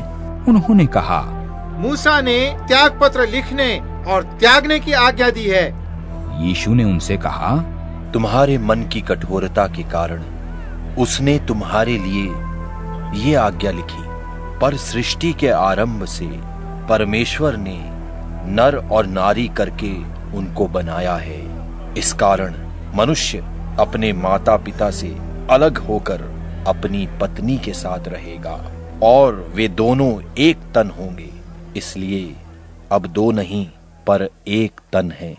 इसलिए जिसे परमेश्वर ने जोड़ा है उसे मनुष्य अलग न करे। और घर में चेलों ने इसके विषय में उससे फिर पूछा। उसने उनसे कहा जो कोई अपनी पत्नी को त्याग कर दूसरी से ब्याह करे तो वो उस पहली के विरोध में व्यभिचार करता है। और यदि पत्नी अपने पति को छोड़कर दूसरे से ब्याह करे तो वो व्यभिचार करती है। फिर लोग बालकों को उसके पास लाने लगे कि वो उन पर हाथ रखे, पर चेलों ने उनको डांटा। यीशु ने ये देख क्रुद्ध होकर उनसे कहा, बालकों को मेरे पास आने दो और उन्हें मना न करो, क्योंकि परमेश्वर का राज्य ऐसों ही का है। मैं तुमसे सच कहता हूँ, जो कोई परमेश्वर के राज्य को बालक की नाई ग्रहण न करे वो उसमें कभी प्रवेश करने न पाएगा। और उसने उन्हें गोद में लिया और उन पर हाथ रखकर उन्हें आशीष दी। और जब वो निकलकर मार्ग में जाता था तो एक मनुष्य उसके पास दौड़ता हुआ आया और उसके आगे घुटने टेक कर उससे पूछा हे उत्तम गुरु अनंत जीवन का अधिकारी होने के लिए मैं क्या करूँ? यीशु ने उससे कहा तू मुझे उत्तम क्यों कहता है? कोई उत्तम नहीं। केवल एक अर्थात परमेश्वर। तू आज्ञाओं को तो जानता है हत्या न करना व्यभिचार न करना चोरी न करना झूठी गवाही न देना छल न करना अपने पिता और अपनी माता का आदर करना।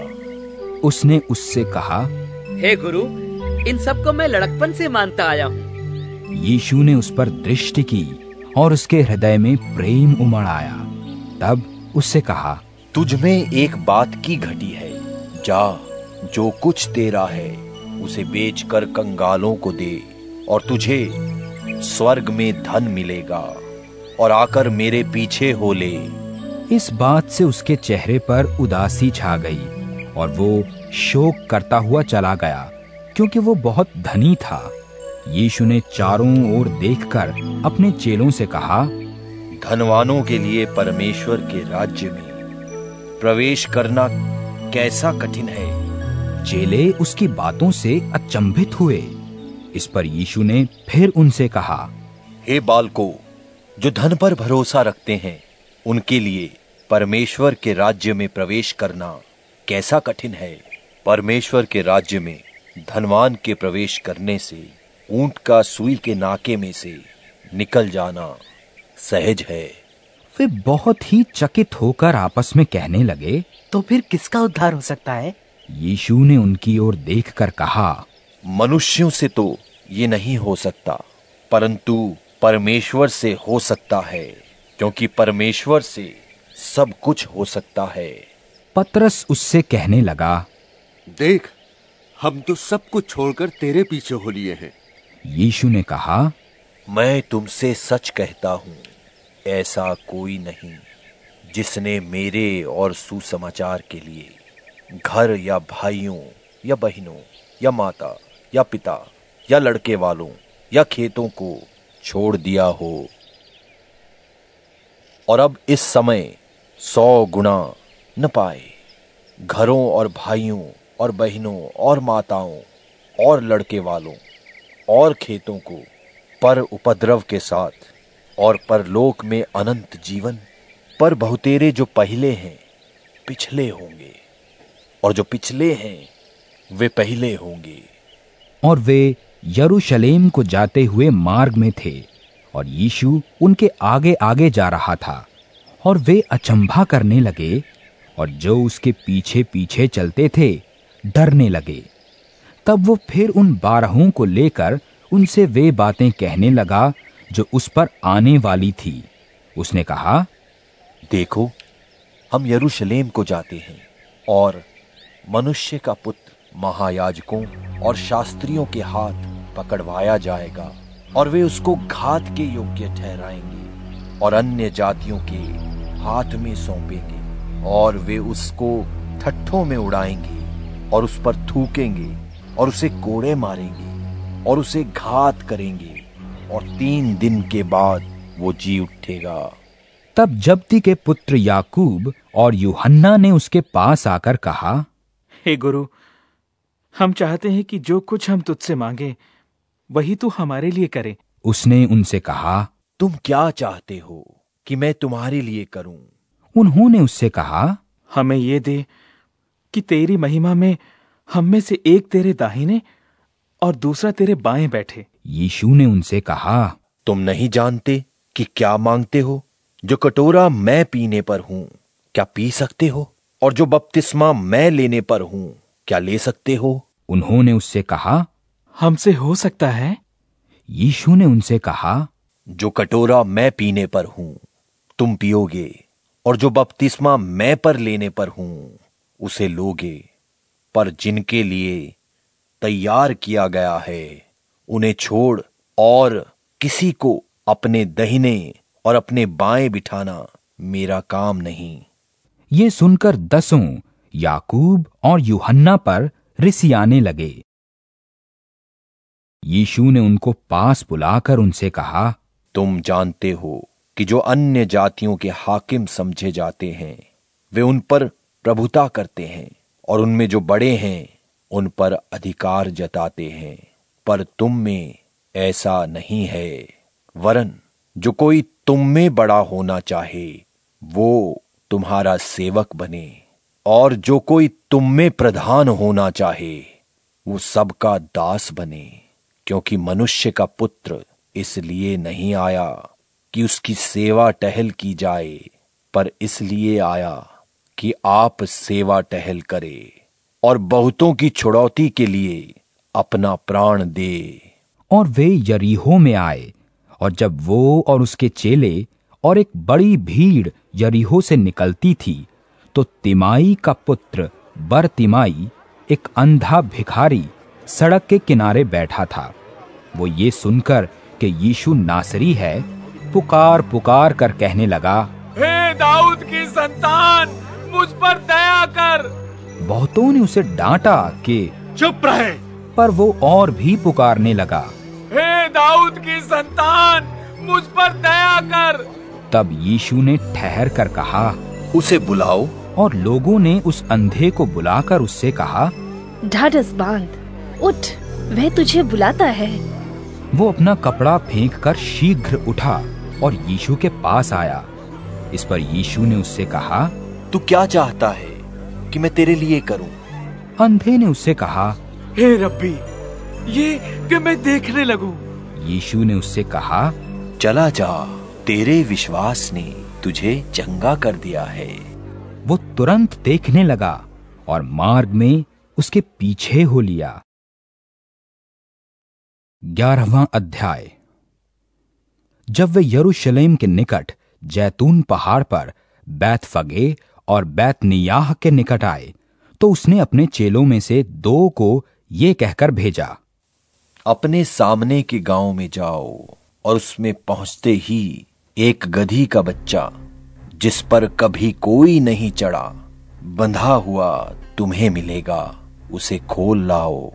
यदि तुमसे कोई पूछे ये क्यों करते हो?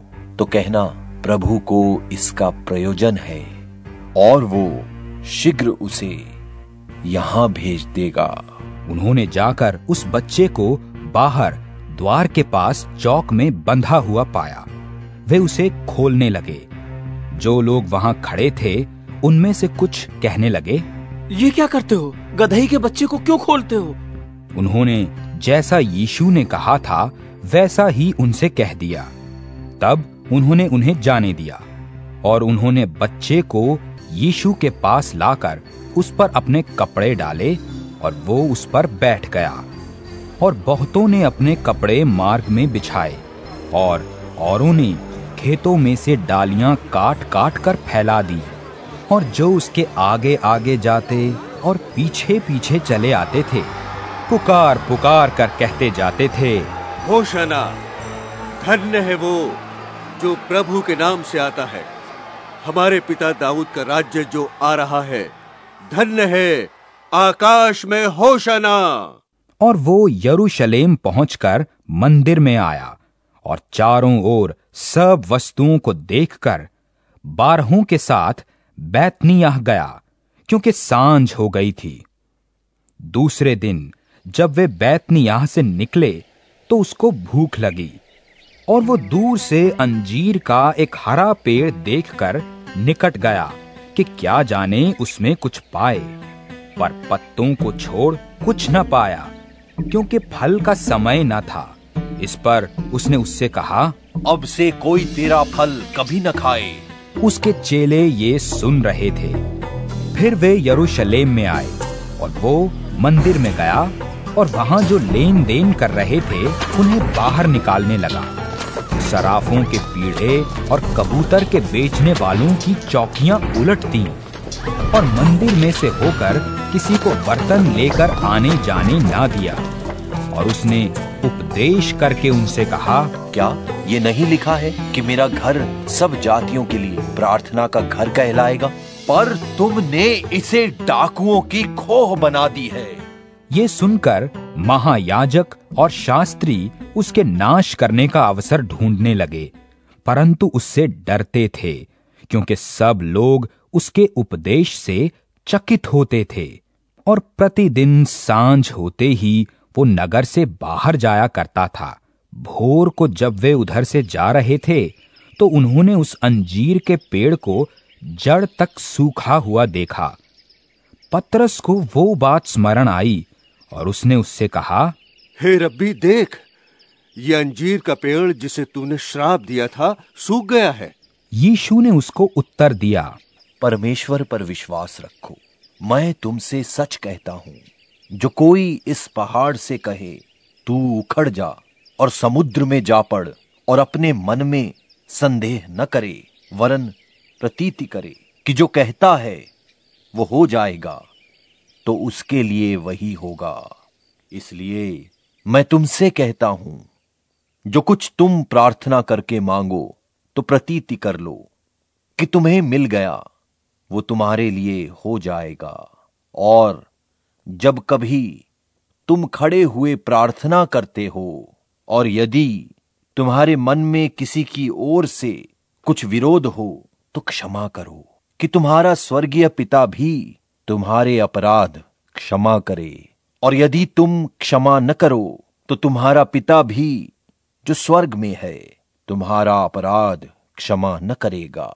वे फिर यरूशलेम में आए और जब वो मंदिर में टहल रहा था तो महायाजक शास्त्री और पुरनिये उसके पास आकर पूछने लगे तू ये काम किस अधिकार से करता है? ये अधिकार तुझे किसने दिया है कि तू ये काम करे?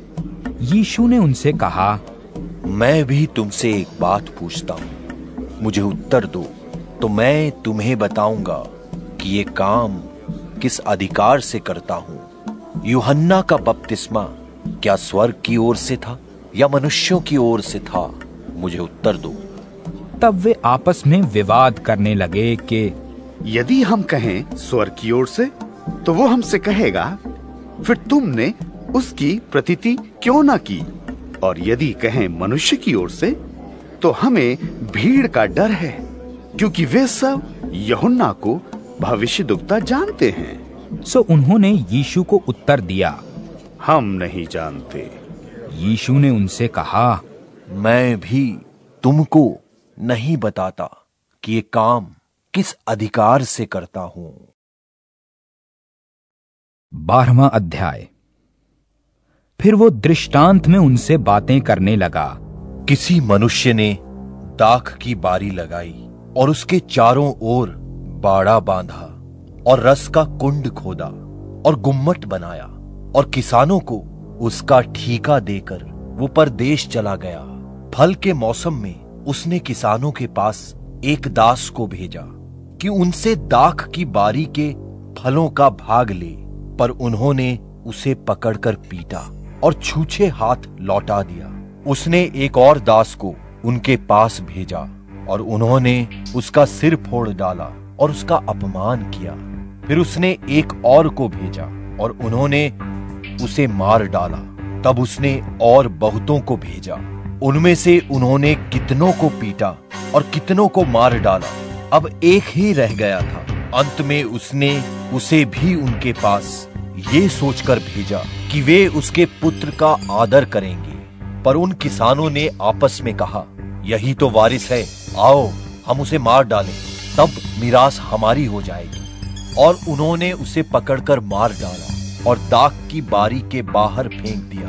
अब दाग की बारी का स्वामी क्या करेगा? वो आकर उन किसानों को नाश करेगा और दाग की बारी औरों को दे देगा। क्या तुमने पवित्र शास्त्र में ये वचन नहीं पढ़ा कि जिस पत्थर को राजमिस्त्रियों ने निकम्मा ठहराया था, वही कोने का सिरा हो गया? ये प्रभु की ओर से हुआ और हमारी दृष्टि में अद्भुत है।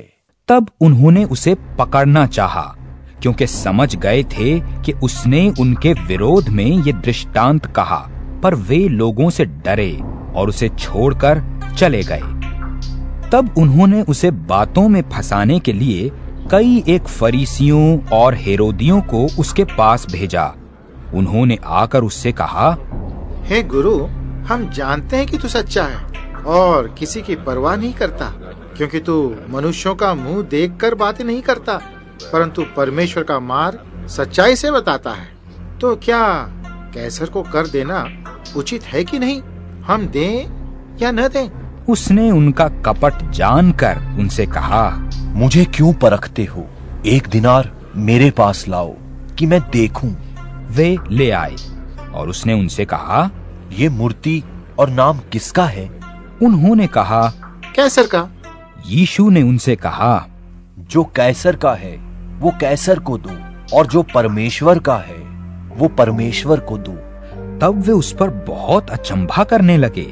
फिर सदुकियों ने भी, जो कहते हैं कि मरे हुओं का जी उठना है ही नहीं, उसके पास आकर उससे पूछा, हे गुरु, मूसा ने हमारे लिए लिखा है कि यदि किसी का भाई बिना संतान मर जाए और उसकी पत्नी रह जाए तो उसका भाई उसकी पत्नी को ब्याह ले और अपने भाई के लिए वंश उत्पन्न करे। सात भाई थे। पहला भाई ब्याह करके बिना संतान मर गया। दूसरे भाई ने उस स्त्री को ब्याह लिया और बिना संतान मर गया। और वैसे ही तीसरे ने भी। और सातों से संतान ना हुई, सबके पीछे वो स्त्री भी मर गई। सो जी उठने पर वो उनमें से किसकी पत्नी होगी? क्योंकि वो सातों की पत्नी हो चुकी थी। यीशु ने उनसे कहा, क्या तुम इस कारण से भूल में नहीं पड़े हो कि तुम न तो पवित्र शास्त्र ही को जानते हो और न परमेश्वर की सामर्थ को? क्योंकि जब वे मरे हुओं में से जी उठेंगे तो उनमें ब्याह शादी न होगी, पर स्वर्ग में दूतों की नाई होंगे। मरे हुओं के जी उठने के विषय में क्या तुमने मूसा की पुस्तक में झाड़ी की कथा में नहीं पढ़ा? कि परमेश्वर ने उससे कहा मैं इब्राहिम का परमेश्वर और इसहाक का परमेश्वर और याकूब का परमेश्वर हूँ। परमेश्वर मरे हुओं का नहीं वरन जीवतों का परमेश्वर है। सो तुम बड़ी भूल में पड़े हो। और शास्त्रियों में से एक ने आकर उन्हें विवाद करते सुना और ये जानकर कि उसने उन्हें अच्छी रीति से उत्तर दिया उससे पूछा सबसे मुख्य आज्ञा कौन सी है? यीशु ने उससे उत्तर दिया, सब आज्ञाओं में से ये मुख्य है। हे इसराइल सुन, प्रभु हमारा परमेश्वर एक ही प्रभु है, और तू प्रभु अपने परमेश्वर से, अपने सारे प्राण से, और अपनी सारी बुद्धि से, और अपनी सारी शक्ति से प्रेम रखना। और दूसरी ये है कि तू अपने पड़ोसी से अपने समान प्रेम रखना। इससे बड़ी और कोई आज्ञा नहीं। शास्त्री ने उससे कहा हे गुरु बहुत ठीक। तूने सच कहा कि वो एक ही है और उसे छोड़ और कोई नहीं और उसे सारे मन और सारी बुद्धि और सारे प्राण और सारी शक्ति के साथ प्रेम रखना और पड़ोसी से अपने समान प्रेम रखना। सारे होमों और बलिदानों से बढ़कर है। जब यीशु ने देखा कि उसने समझ से उत्तर दिया तो उसने कहा तू परमेश्वर के राज्य से दूर नहीं। और किसी को फिर उससे कुछ पूछने का साहस ना हुआ। फिर यीशु ने मंदिर में उपदेश करते हुए ये कहा शास्त्री क्यों कहते हैं कि मसीह दाऊद का पुत्र है? दाऊद ने आप ही पवित्र आत्मा में होकर कहा है प्रभु ने मेरे प्रभु से कहा मेरे दहीने बैठ जब तक कि मैं तेरे बैरियों को तेरे पावों की पीड़ी न कर दूँ दाऊद तो आप ही उसे प्रभु कहता है। फिर वो उसका पुत्र कहाँ से ठहरा? और भीड़ के लोग उसकी आनंद से सुनते थे। उसने अपने उपदेश में उनसे कहा शास्त्रियों से चौकस रहो जो लंबे वस्त्र पहने हुए फिरना और बाजारों में नमस्कार। और आराधनालयों में मुख्य मुख्य आसन और जेवनारों में मुख्य मुख्य स्थान भी चाहते हैं। वे विधवाओं के घरों को खा जाते हैं और दिखाने के लिए बड़ी देर तक प्रार्थना करते रहते हैं। ये अधिक दंड पाएँगे। और वो मंदिर के भंडार के सामने बैठकर देख रहा था कि लोग मंदिर के भंडार में किस प्रकार पैसे डालते हैं। और बहुत धनवानों ने बहुत कुछ डाला। इतने में एक कंगाल विधवा ने आकर दो दमड़ियाँ, जो एक पैसे के बराबर होती हैं, डाली। तब उसने अपने चेलों को पास बुलाकर उनसे कहा, मैं तुमसे सच कहता हूँ, मंदिर के भंडार में डालने वालों में से इस कंगाल विधवा ने सबसे बढ़कर डाला है, क्योंकि सबने अपने धन की बढ़ती में से डाला है परंतु इसने अपनी घटी में से जो कुछ उसका था अर्थात अपनी सारी जीविका डाल दी है तेरहवा अध्याय जब वो मंदिर से निकल रहा था तो उसके चेलों में से एक ने उससे कहा हे hey गुरु देख कैसे कैसे पत्थर और कैसे कैसे भवन हैं। यीशु ने उससे कहा क्या तुम ये बड़े बड़े भवन देखते हो? यहाँ पत्थर पर पत्थर भी बचा न रहेगा जो ढाया न जाएगा। जब वो जैतून के पहाड़ पर मंदिर के सामने बैठा था तो पतरस और याकूब और यूहन्ना और अंद्रियास ने अलग जाकर उससे पूछा हमें बता कि ये बातें कब होंगी? और जब ये सब बातें पूरी होने पर होंगी उस समय का क्या चिन्ह होगा? यीशु उनसे कहने लगा चौकस रहो कि कोई तुम्हें न भरमाए। बहु तेरे मेरे नाम से आकर कहेंगे, मैं वही हूँ और बहुतों को भरमाएँगे। और जब तुम लड़ाइयाँ और लड़ाइयों की चर्चा सुनो तो न घबराना, क्योंकि इनका होना अवश्य है, परंतु उस समय अंत न होगा। क्योंकि जाति पर जाति और राज्य पर राज्य चढ़ाई करेगा, और हर कहीं भूडोल होंगे। ये तो पीड़ाओं का आरंभ ही होगा। परंतु तुम अपने विषय में चौकस रहो, क्योंकि लोग तुम्हें महासभाओं में सौंपेंगे और तुम पंचायतों में पीटे जाओगे। और मेरे कारण हाकिमों और राजाओं के आगे खड़े किए जाओगे कि उनके लिए गवाही हो। पर अवश्य है कि पहले सुसमाचार सब जातियों में प्रचार किया जाए। जब वे तुम्हें ले जाकर सौंपे तो पहले से चिंता न करना कि हम क्या कहेंगे। जो कुछ तुम्हें उसी घड़ी बताया जाए, वही कहना, क्योंकि बोलने वाले तुम नहीं, परंतु पवित्र आत्मा है। और भाई को भाई और पिता को पुत्र घात के लिए सौंपेंगे, और लड़के वाले माता पिता के विरोध में उठकर उन्हें मरवा डालेंगे। और मेरे नाम के कारण सब लोग तुमसे बैर करेंगे। पर जो अंत तक धीरज रखेगा उसी का उद्धार होगा। सो जब तुम उस उजाड़ने वाली घृणित वस्तु को जहाँ उचित नहीं वहाँ खड़ी देखो। पढ़ने वाला समझ ले। तब जो यहूदियों में हो वे पहाड़ों पर भाग जाएँ जो कोठे पर हो वो अपने घर से कुछ लेने को नीचे न उतरे और न भीतर जाए और जो खेत में हो, वो अपना कपड़ा लेने के लिए पीछे न लौटे। उन दिनों में जो गर्भवती और दूध पिलाती होंगी और प्रार्थना किया करो कि ये जाड़े में न हो, क्योंकि वे दिन ऐसे क्लेश के होंगे कि सृष्टि के आरंभ से जो परमेश्वर ने सृजी है अब तक ना तो हुए और न फिर कभी होंगे। और यदि प्रभु उन दिनों को न घटाता तो कोई प्राणी भी न बचता। परंतु उन चुने हुओं के कारण जिनको उसने चुना है, उसने उन दिनों को घटाया है। उस समय यदि कोई तुमसे कहे, देखो, मसीह यहाँ है या देखो, वहाँ है तो प्रतीति न करना। क्योंकि झूठे मसीह और झूठे भविष्य वक्ता उठ खड़े होंगे और चिन्ह और अद्भुत काम दिखाएँगे कि यदि हो सके तो चुने हुओं को भी भरमा दे। पर तुम चौकस रहो। देखो, मैंने तुम्हें सब बातें पहले ही से कह दी हैं। उन दिनों में उस क्लेश के बाद सूरज अंधेरा हो जाएगा। और चाँद प्रकाश न देगा, और आकाश से तारा गण गिरने लगेंगे, और आकाश की शक्तियाँ हिलाई जाएँगी।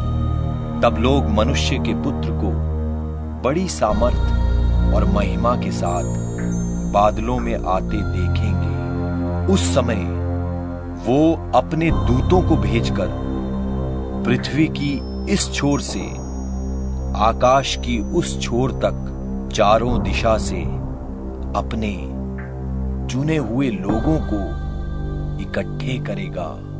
अंजीर के पेड़ से ये दृष्टांत सीखो, जब उसकी डाली कोमल हो जाती और पत्ते निकलने लगते हैं तो तुम जान लेते हो कि ग्रीष्म काल निकट है। इसी रीति से जब तुम इन बातों को होते देखो तो जान लो कि वो निकट है, वरन द्वार ही पर है। मैं तुमसे सच कहता हूँ, जब तक ये सब बातें न हो लेंगी, तब तक ये लोग जाते न रहेंगे। आकाश और पृथ्वी टल जाएँगे, परंतु मेरी बातें कभी न टलेंगी। उस दिन या उस घड़ी के विषय में कोई नहीं जानता। न स्वर्ग के दूत और न पुत्र, परंतु केवल पिता। देखो, जागते और प्रार्थना करते रहो, क्योंकि तुम नहीं जानते कि वो समय कब आएगा। ये उस मनुष्य की सी दशा है, जो परदेश जाते समय अपना घर छोड़ जाए और अपने दासों को अधिकार दे और हर एक को उसका काम जता दे और द्वारपाल को जागते रहने की आज्ञा दे। इसलिए जागते रहो, क्योंकि तुम नहीं जानते कि घर का स्वामी कब आएगा। साँझ को या आधी रात को, या मुर्ग के बांग देने के समय, या भोर को। ऐसा न हो कि वो अचानक आकर तुम्हें सोते पाए। जो मैं तुमसे कहता हूँ, वही सबसे कहता हूँ। जागते रहो। चौदहवा अध्याय। दो दिन के बाद फसह और अखमीरी रोटी का पर्व होने वाला था। महायाजक और शास्त्री इस बात की खोज में थे कि उसे किस प्रकार छल से पकड़कर मार डालें। परंतु कहते थे कि पर्व के दिन नहीं कहीं ऐसा ना हो कि लोगों में बलवा मचे। जब वो बैतनियाह में शमौन कोढ़ी के घर भोजन करने बैठा हुआ था, तब एक स्त्री संगमरमर के पात्र में जटामासी का बहुमूल्य शुद्ध इत्र लेकर आई और पात्र तोड़कर इत्र को उसके सिर पर उंडेला। कुछ लोग अपने मन में रिसिया कर कहने लगे, इस इत्र को क्यों सत्यानाश किया गया? क्योंकि ये इत्र तो 300 दिनार से अधिक मूल्य में बेचकर कंगालों को बांटा जा सकता था। और वे उसको झड़कने लगे। यीशु ने कहा, उसे छोड़ दो। उसे क्यों सताते हो? उसने तो मेरे साथ भलाई की है। कंगाल तुम्हारे साथ सदा रहते हैं। तुम जब चाहो, तब उनसे भलाई कर सकते हो। पर मैं तुम्हारे साथ सदा न रहूँगा। जो कुछ वो कर सकी, उसने किया है। उसने मेरे गाड़े जाने की तैयारी में पहले से मेरी देह पर इत्र मला है। मैं तुमसे सच कहता हूँ, सारे जगत में जहाँ कहीं सुसमाचार प्रचार किया जाएगा, वहाँ उसके इस काम की चर्चा भी उसके स्मरण में की जाएगी। तब यहूदा इसकरियोती, जो बारह में से एक था महायाजकों के पास गया कि उसे उनके हाथ पकड़वा दे। वे ये सुनकर आनंदित हुए और उसको रुपए देना स्वीकार किया और वो ये अवसर ढूँढने लगा कि उसे किसी प्रकार पकड़वा दे। अखमीरी रोटी के पर्व के पहले दिन, जिसमें वे फसह का बलिदान करते थे, उसके चेलों ने उससे पूछा, तू कहा चाहता है कि हम जाकर तेरे लिए फसा खाने की तैयारी करें? उसने अपने चेलों में से दो को ये कहकर भेजा। नगर में जाओ और एक मनुष्य जल का घड़ा उठाए हुए तुम्हें मिलेगा। उसके पीछे हो लेना। वो जिस घर में जाए, उस घर के स्वामी से कहना, गुरु कहता है, मेरी पाहुनशाला, जिसमें मैं अपने चेलों के साथ फसह खाऊं, कहाँ है? वो तुम्हें एक सजी सजाई और तैयार की हुई बड़ी अटारी दिखा देगा। वहाँ हमारे लिए तैयारी करो। सो चेले निकलकर नगर में आए और जैसा उसने उनसे कहा था वैसा ही पाया और फसह तैयार किया। जब साँझ हुई तो वो बारहों के साथ आया और जब वे बैठे भोजन कर रहे थे तो यीशु ने कहा मैं तुमसे सच कहता हूँ। तुम में से एक जो मेरे साथ भोजन कर रहा है मुझे पकड़वाएगा। उन पर उदासी छा गई और वे एक एक करके उससे कहने लगे क्या वो मैं हूँ? उसने उनसे कहा वो बारहों में एक है जो मेरे साथ थाली में हाथ डालता है। मनुष्य का पुत्र तो जैसा उसके विषय में लिखा है जाता ही है। परंतु उस मनुष्य पर हाय जिसके द्वारा मनुष्य का पुत्र पकड़वाया जाता है। यदि उस मनुष्य का जन्म ही न होता तो उसके लिए भला होता। और जब वे खा ही रहे थे तो उसने रोटी ली और आशीष मांग कर तोड़ी और उन्हें दी और कहा लो ये मेरी देह है। फिर उसने कटोरा लेकर धन्यवाद किया और उन्हें दिया। और उन सबने उसमें से पिया। और उसने उनसे कहा, ये वाचा का मेरा वो लोहू है, जो बहुतों के लिए बहाया जाता है। मैं तुमसे सच कहता हूँ, दाख का रस उस दिन तक फिर कभी न पीऊँगा, जब तक परमेश्वर के राज्य में नया न पीऊं। फिर वे भजन गाकर बाहर जैतून के पहाड़ पर गए।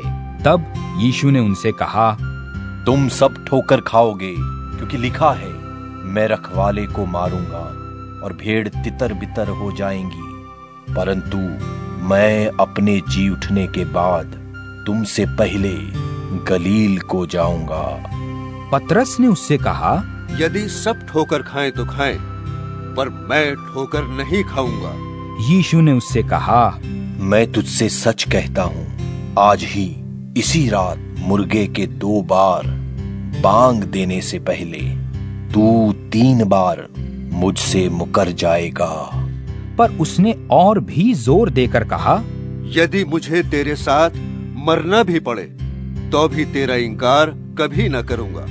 इसी प्रकार और सबने भी कहा। फिर वे गत समने नाम एक जगह में आए और उसने अपने चेलों से कहा यहाँ बैठे रहो जब तक मैं प्रार्थना करूँ।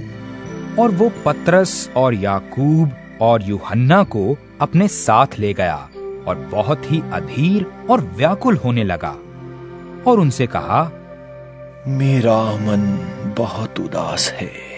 यहाँ तक कि मैं मरने पर हूँ। तुम यहाँ ठहरो और जागते रहो। और वो थोड़ा आगे बढ़ा और भूमि पर गिरकर प्रार्थना करने लगा। यदि हो सके तो ये घड़ी मुझ पर से टल जाए। और कहा हे अब्बा हे पिता तुझसे सब कुछ हो सकता है। इस कटोरे को मुझसे हटा ले तो भी जैसा मैं चाहता हूँ। वैसा नहीं पर जो तू चाहता है वही हो। फिर वो आया और उन्हें सोते पाकर पत्रस से कहा हे शमोन तू सो रहा है? क्या तू एक घड़ी भी न जाग सका? जागते और प्रार्थना करते रहो कि तुम परीक्षा में न पड़ो। आत्मा तो तैयार है, पर शरीर दुर्बल है। और वो फिर चला गया और वही बात कहकर प्रार्थना की और फिर आकर उन्हें सोते पाया, क्योंकि उनकी आँखें नींद से भरी थीं और नहीं जानते थे कि उसे क्या उत्तर दें। तब तीसरी बार आकर उनसे कहा अब सोते रहो और विश्राम करो। बस घड़ी आ पहुँची। देखो मनुष्य का पुत्र पापियों के हाथ पकड़वाया जाता है। उठो चले देखो मेरा पकड़ने वाला निकट आ पहुँचा। वो ये कह ही रहा था कि यहूदा जो बारहों में से था अपने साथ महायाजकों और शास्त्रियों और पुर्नियों की ओर से एक बड़ी भीड़ तलवारें और लाठियाँ लिए हुए तुरंत आ पहुँचा। उसके पकड़वाने वाले ने उन्हें ये पता दिया था कि जिसको मैं चूमू वही है। उसे पकड़कर यतन से ले जाना। और वो आया और तुरंत उसके पास जाकर कहा है रब्बी! और उसको बहुत चूमा। तब उन्होंने हाथ बढ़ाकर उसे पकड़ लिया। उनमें से जो पास खड़े थे एक ने तलवार खींचकर महायाजक के दास पर चलाई और उसका कान उड़ा दिया। यीशु ने उनसे कहा, क्या तुम डाकू जानकर मुझे पकड़ने के लिए तलवारें और लाठियाँ लेकर निकले हो? मैं तो हर दिन मंदिर में तुम्हारे साथ रहकर उपदेश दिया करता था, और तब तुमने मुझे न पकड़ा। परंतु ये इसलिए हुआ है कि पवित्र शास्त्र की बातें पूरी हो। इस पर सब चेले उसे छोड़कर भाग गए और एक जवान अपनी नंगी देह पर चादर ओढ़े हुए उसके पीछे हो लिया। लोगों ने उसे पकड़ा, पर वो चादर छोड़कर नंगा भाग गया। तब वे यीशु को महायाजक के पास ले गए और सब महायाजक और पुरनिये और शास्त्री उसके यहाँ इकट्ठे हुए। पत्रस भी दूर ही दूर से उसके पीछे पीछे महायाजक के आँगन के भीतर तक गया और प्यादों के साथ बैठकर आग तापने लगा। महायाजक और सारी महासभा यीशु के मार डालने के लिए उसके विरोध में गवाही की खोज में थे, पर न मिली, क्योंकि बहुत तेरे उसके विरोध में झूठी गवाही दे रहे थे, पर उनकी गवाही एक सी ना थी। तब कितनों ने उठकर उस पर ये झूठी गवाही दी? हमने इसे ये कहते सुना है कि मैं इस हाथ के बनाए हुए मंदिर को ढा दूँगा और तीन दिन में दूसरा बनाऊँगा जो हाथ से ना बना हो। इस पर भी उनकी गवाही एक सी न निकली। तब महायाजक ने बीच में खड़े होकर यीशु से पूछा महायाजक ने उससे फिर पूछा तू कोई उत्तर नहीं देता? ये लोग तेरे विरोध में क्या गवाही देते हैं? परंतु वो मौन साधे रहा और कुछ उत्तर न दिया। महायाजक ने उससे फिर पूछा क्या तू उस परम धन्य का पुत्र मसीह है? यीशु ने कहा हाँ मैं हूँ और तुम मनुष्य के पुत्र को सर्वशक्तिमान की दहिनी ओर बैठे और आकाश के बादलों के साथ आते देखोगे। तब महायाजक ने अपने वस्त्र फाड़ कर कहा अब हमें गवाहों का और क्या प्रयोजन? तुमने ये निंदा सुनी? तुम्हारी क्या राय है? उन सबने कहा वो वध के योग्य है। वो वध के योग्य है। तब तो कोई उस पर थूकने और कोई उसका मुँह ढांपने और उसे घूसे मारने और उससे कहने लगे भविष्यवाणी कर। और प्यादों ने उसे लेकर थप्पड़ मारे। जब पत्रस नीचे आँगन में था तो महायाजक की लौंडियों में से एक वहाँ आई। और पतरस को आग तापते देखकर उस पर टकटकी लगाकर देखा और कहने लगी तू भी तो उस नासरी यीशु के साथ था। वो मुकर गया और कहा मैं नहीं जानता। और नहीं समझता कि तू क्या कह रही है। फिर वो बाहर डेवड़ी पर गया और मुर्ग ने बांग दी। वो लौंडी उसे देखकर उनसे जो पास खड़े थे फिर कहने लगी ये उनमें से एक है। परंतु वो फिर मुकर गया और थोड़ी देर बाद उन्होंने जो पास खड़े थे फिर पत्रस से कहा निश्चय तू उनमें से एक है क्योंकि तू गलीली भी है। तब वो धिक्कार देने और शपथ खाने लगा कि उस मनुष्य को जिसकी तुम चर्चा करते हो मैं नहीं जानता। तब तुरंत दूसरी बार मुर्ग ने बांग दी। पत्रस को वो बात जो यीशु ने उससे कही थी स्मरण आई। कि मुर्ग के दो बार बांग देने से पहले तू तीन बार मेरा इनकार करेगा। वो इस बात को सोचकर रोने लगा। पंद्रवा अध्याय। और भोर होते ही तुरंत महायाजकों, पुर्नियों और शास्त्रियों ने वरन सारी महासभा ने सलाह करके यीशु को बंधवाया और उसे ले जाकर पीलातुस के हाथ सौंप दिया। पीलातुस ने उससे पूछा क्या तू यहूदियों का राजा है? उसने उसको उत्तर दिया तू आप ही कह रहा है। और महायाजक उस पर बहुत बातों का दोष लगा रहे थे। पीलातुस ने उससे फिर पूछा क्या तू उत्तर नहीं देता? देखिए तुझ पर कितनी बातों का दोष लगाते हैं। यीशु ने फिर कुछ उत्तर नहीं दिया। यहाँ तक कि पीलातुस को बड़ा आश्चर्य हुआ। वो उस पर्व में किसी एक बंधुए को जिसे वे चाहते थे उनके लिए छोड़ दिया करता था। पर अब्बा नाम का एक मनुष्य उन वलवाइयों के साथ बंधुआ था जिन्होंने बलवे में हत्या की थी। भीड़ ऊपर जाकर उससे विनती करने लगी। जैसा तू हमारे लिए करता आया है वैसा ही कर। पीलातुस ने उनको उत्तर दिया क्या तुम चाहते हो कि मैं तुम्हारे लिए यहूदियों के राजा को छोड़ दूँ? क्योंकि वो जानता था कि महायाजकों ने उसे डाह से पकड़वाया था परंतु महायाजकों ने लोगों को उभारा कि वो बरअब्बा ही को उनके लिए छोड़ दे ये सुन पीलातुस ने उनसे फिर पूछा तो तुम जिसे यहूदियों का राजा कहते हो उसको मैं क्या करूँ? वे फिर चिल्लाए उसे क्रूस पर चढ़ा दे पीलातुस ने उनसे कहा क्यों? इसने क्या बुराई की है? परंतु वे और भी चिल्लाए। उसे क्रूस पर चढ़ा दे। तब पीला तुस ने भीड़ को प्रसन्न करने की इच्छा से बरअब्बा को उनके लिए छोड़ दिया और यीशु को कोड़े लगवाकर सौंप दिया कि क्रूस पर चढ़ाया जाए और सिपाही उसे किले के भीतर के आँगन में ले गए जो प्रीटोरियम कहलाता है। और सारी पलटन को बुला लाए और उन्होंने उसे बैंजनी वस्त्र पहनाया और कांटों का मुकुट गूंथ कर उसके सिर पर रखा और ये कहकर उसे नमस्कार करने लगे। ए यहूदियों के राजा नमस्कार। और वे उसके सिर पर सरकंडे मारते और उस पर थूकते और घुटने टेक कर उसे प्रणाम करते रहे।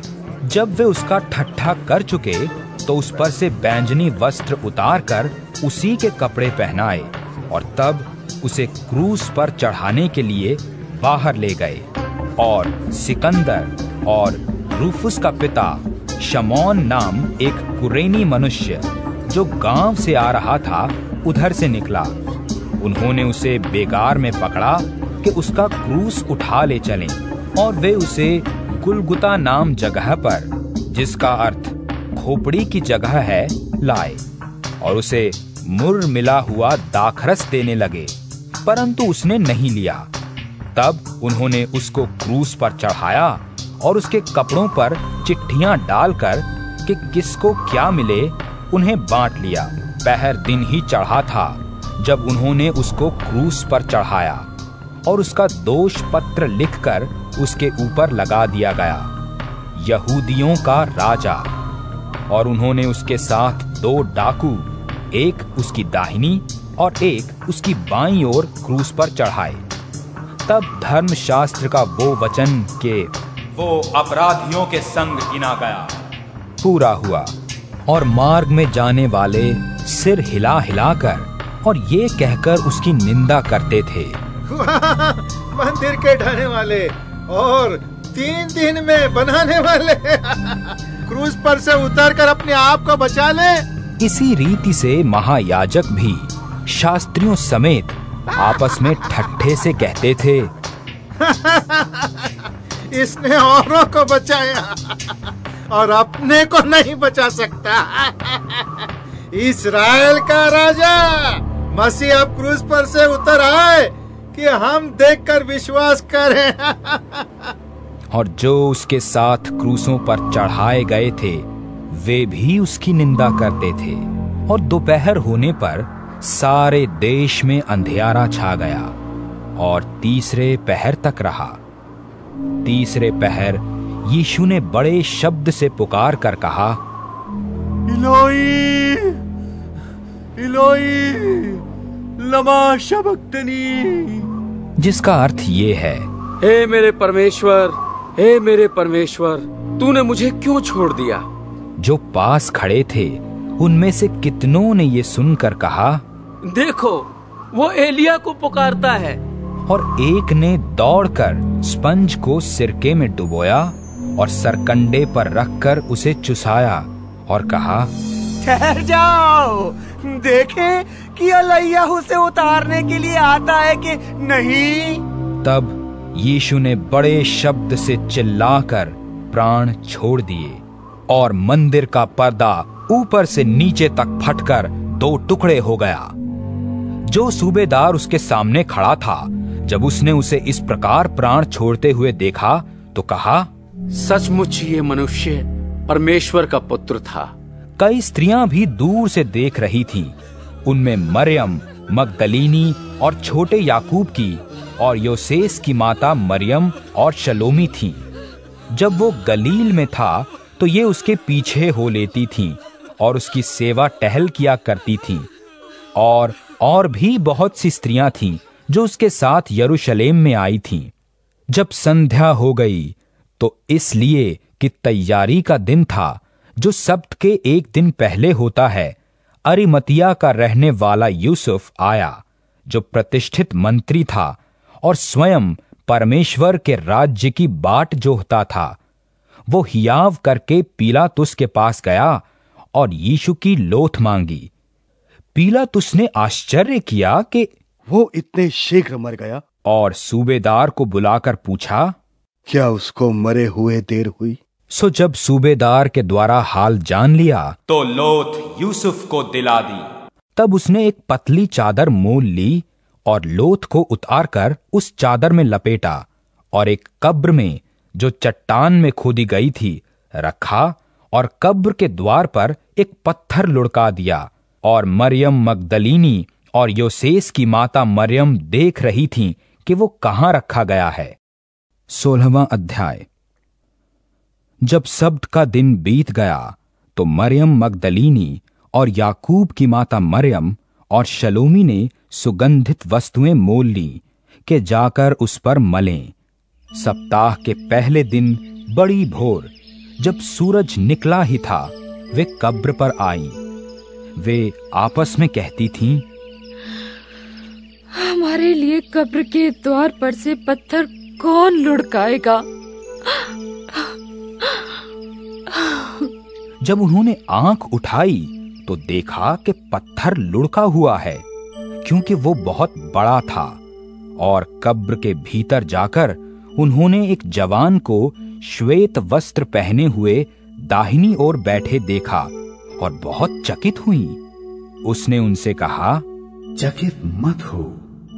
तुम यीशु नासरी को, जो क्रूस पर चढ़ाया गया था, ढूंढती हो। वो जी उठा है, यहाँ नहीं है।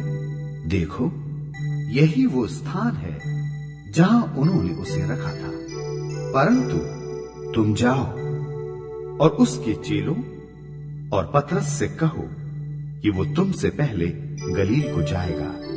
जैसा उसने तुमसे कहा था, तुम वहीं उसे देखोगी। और वे निकलकर कब्र से भाग गईं।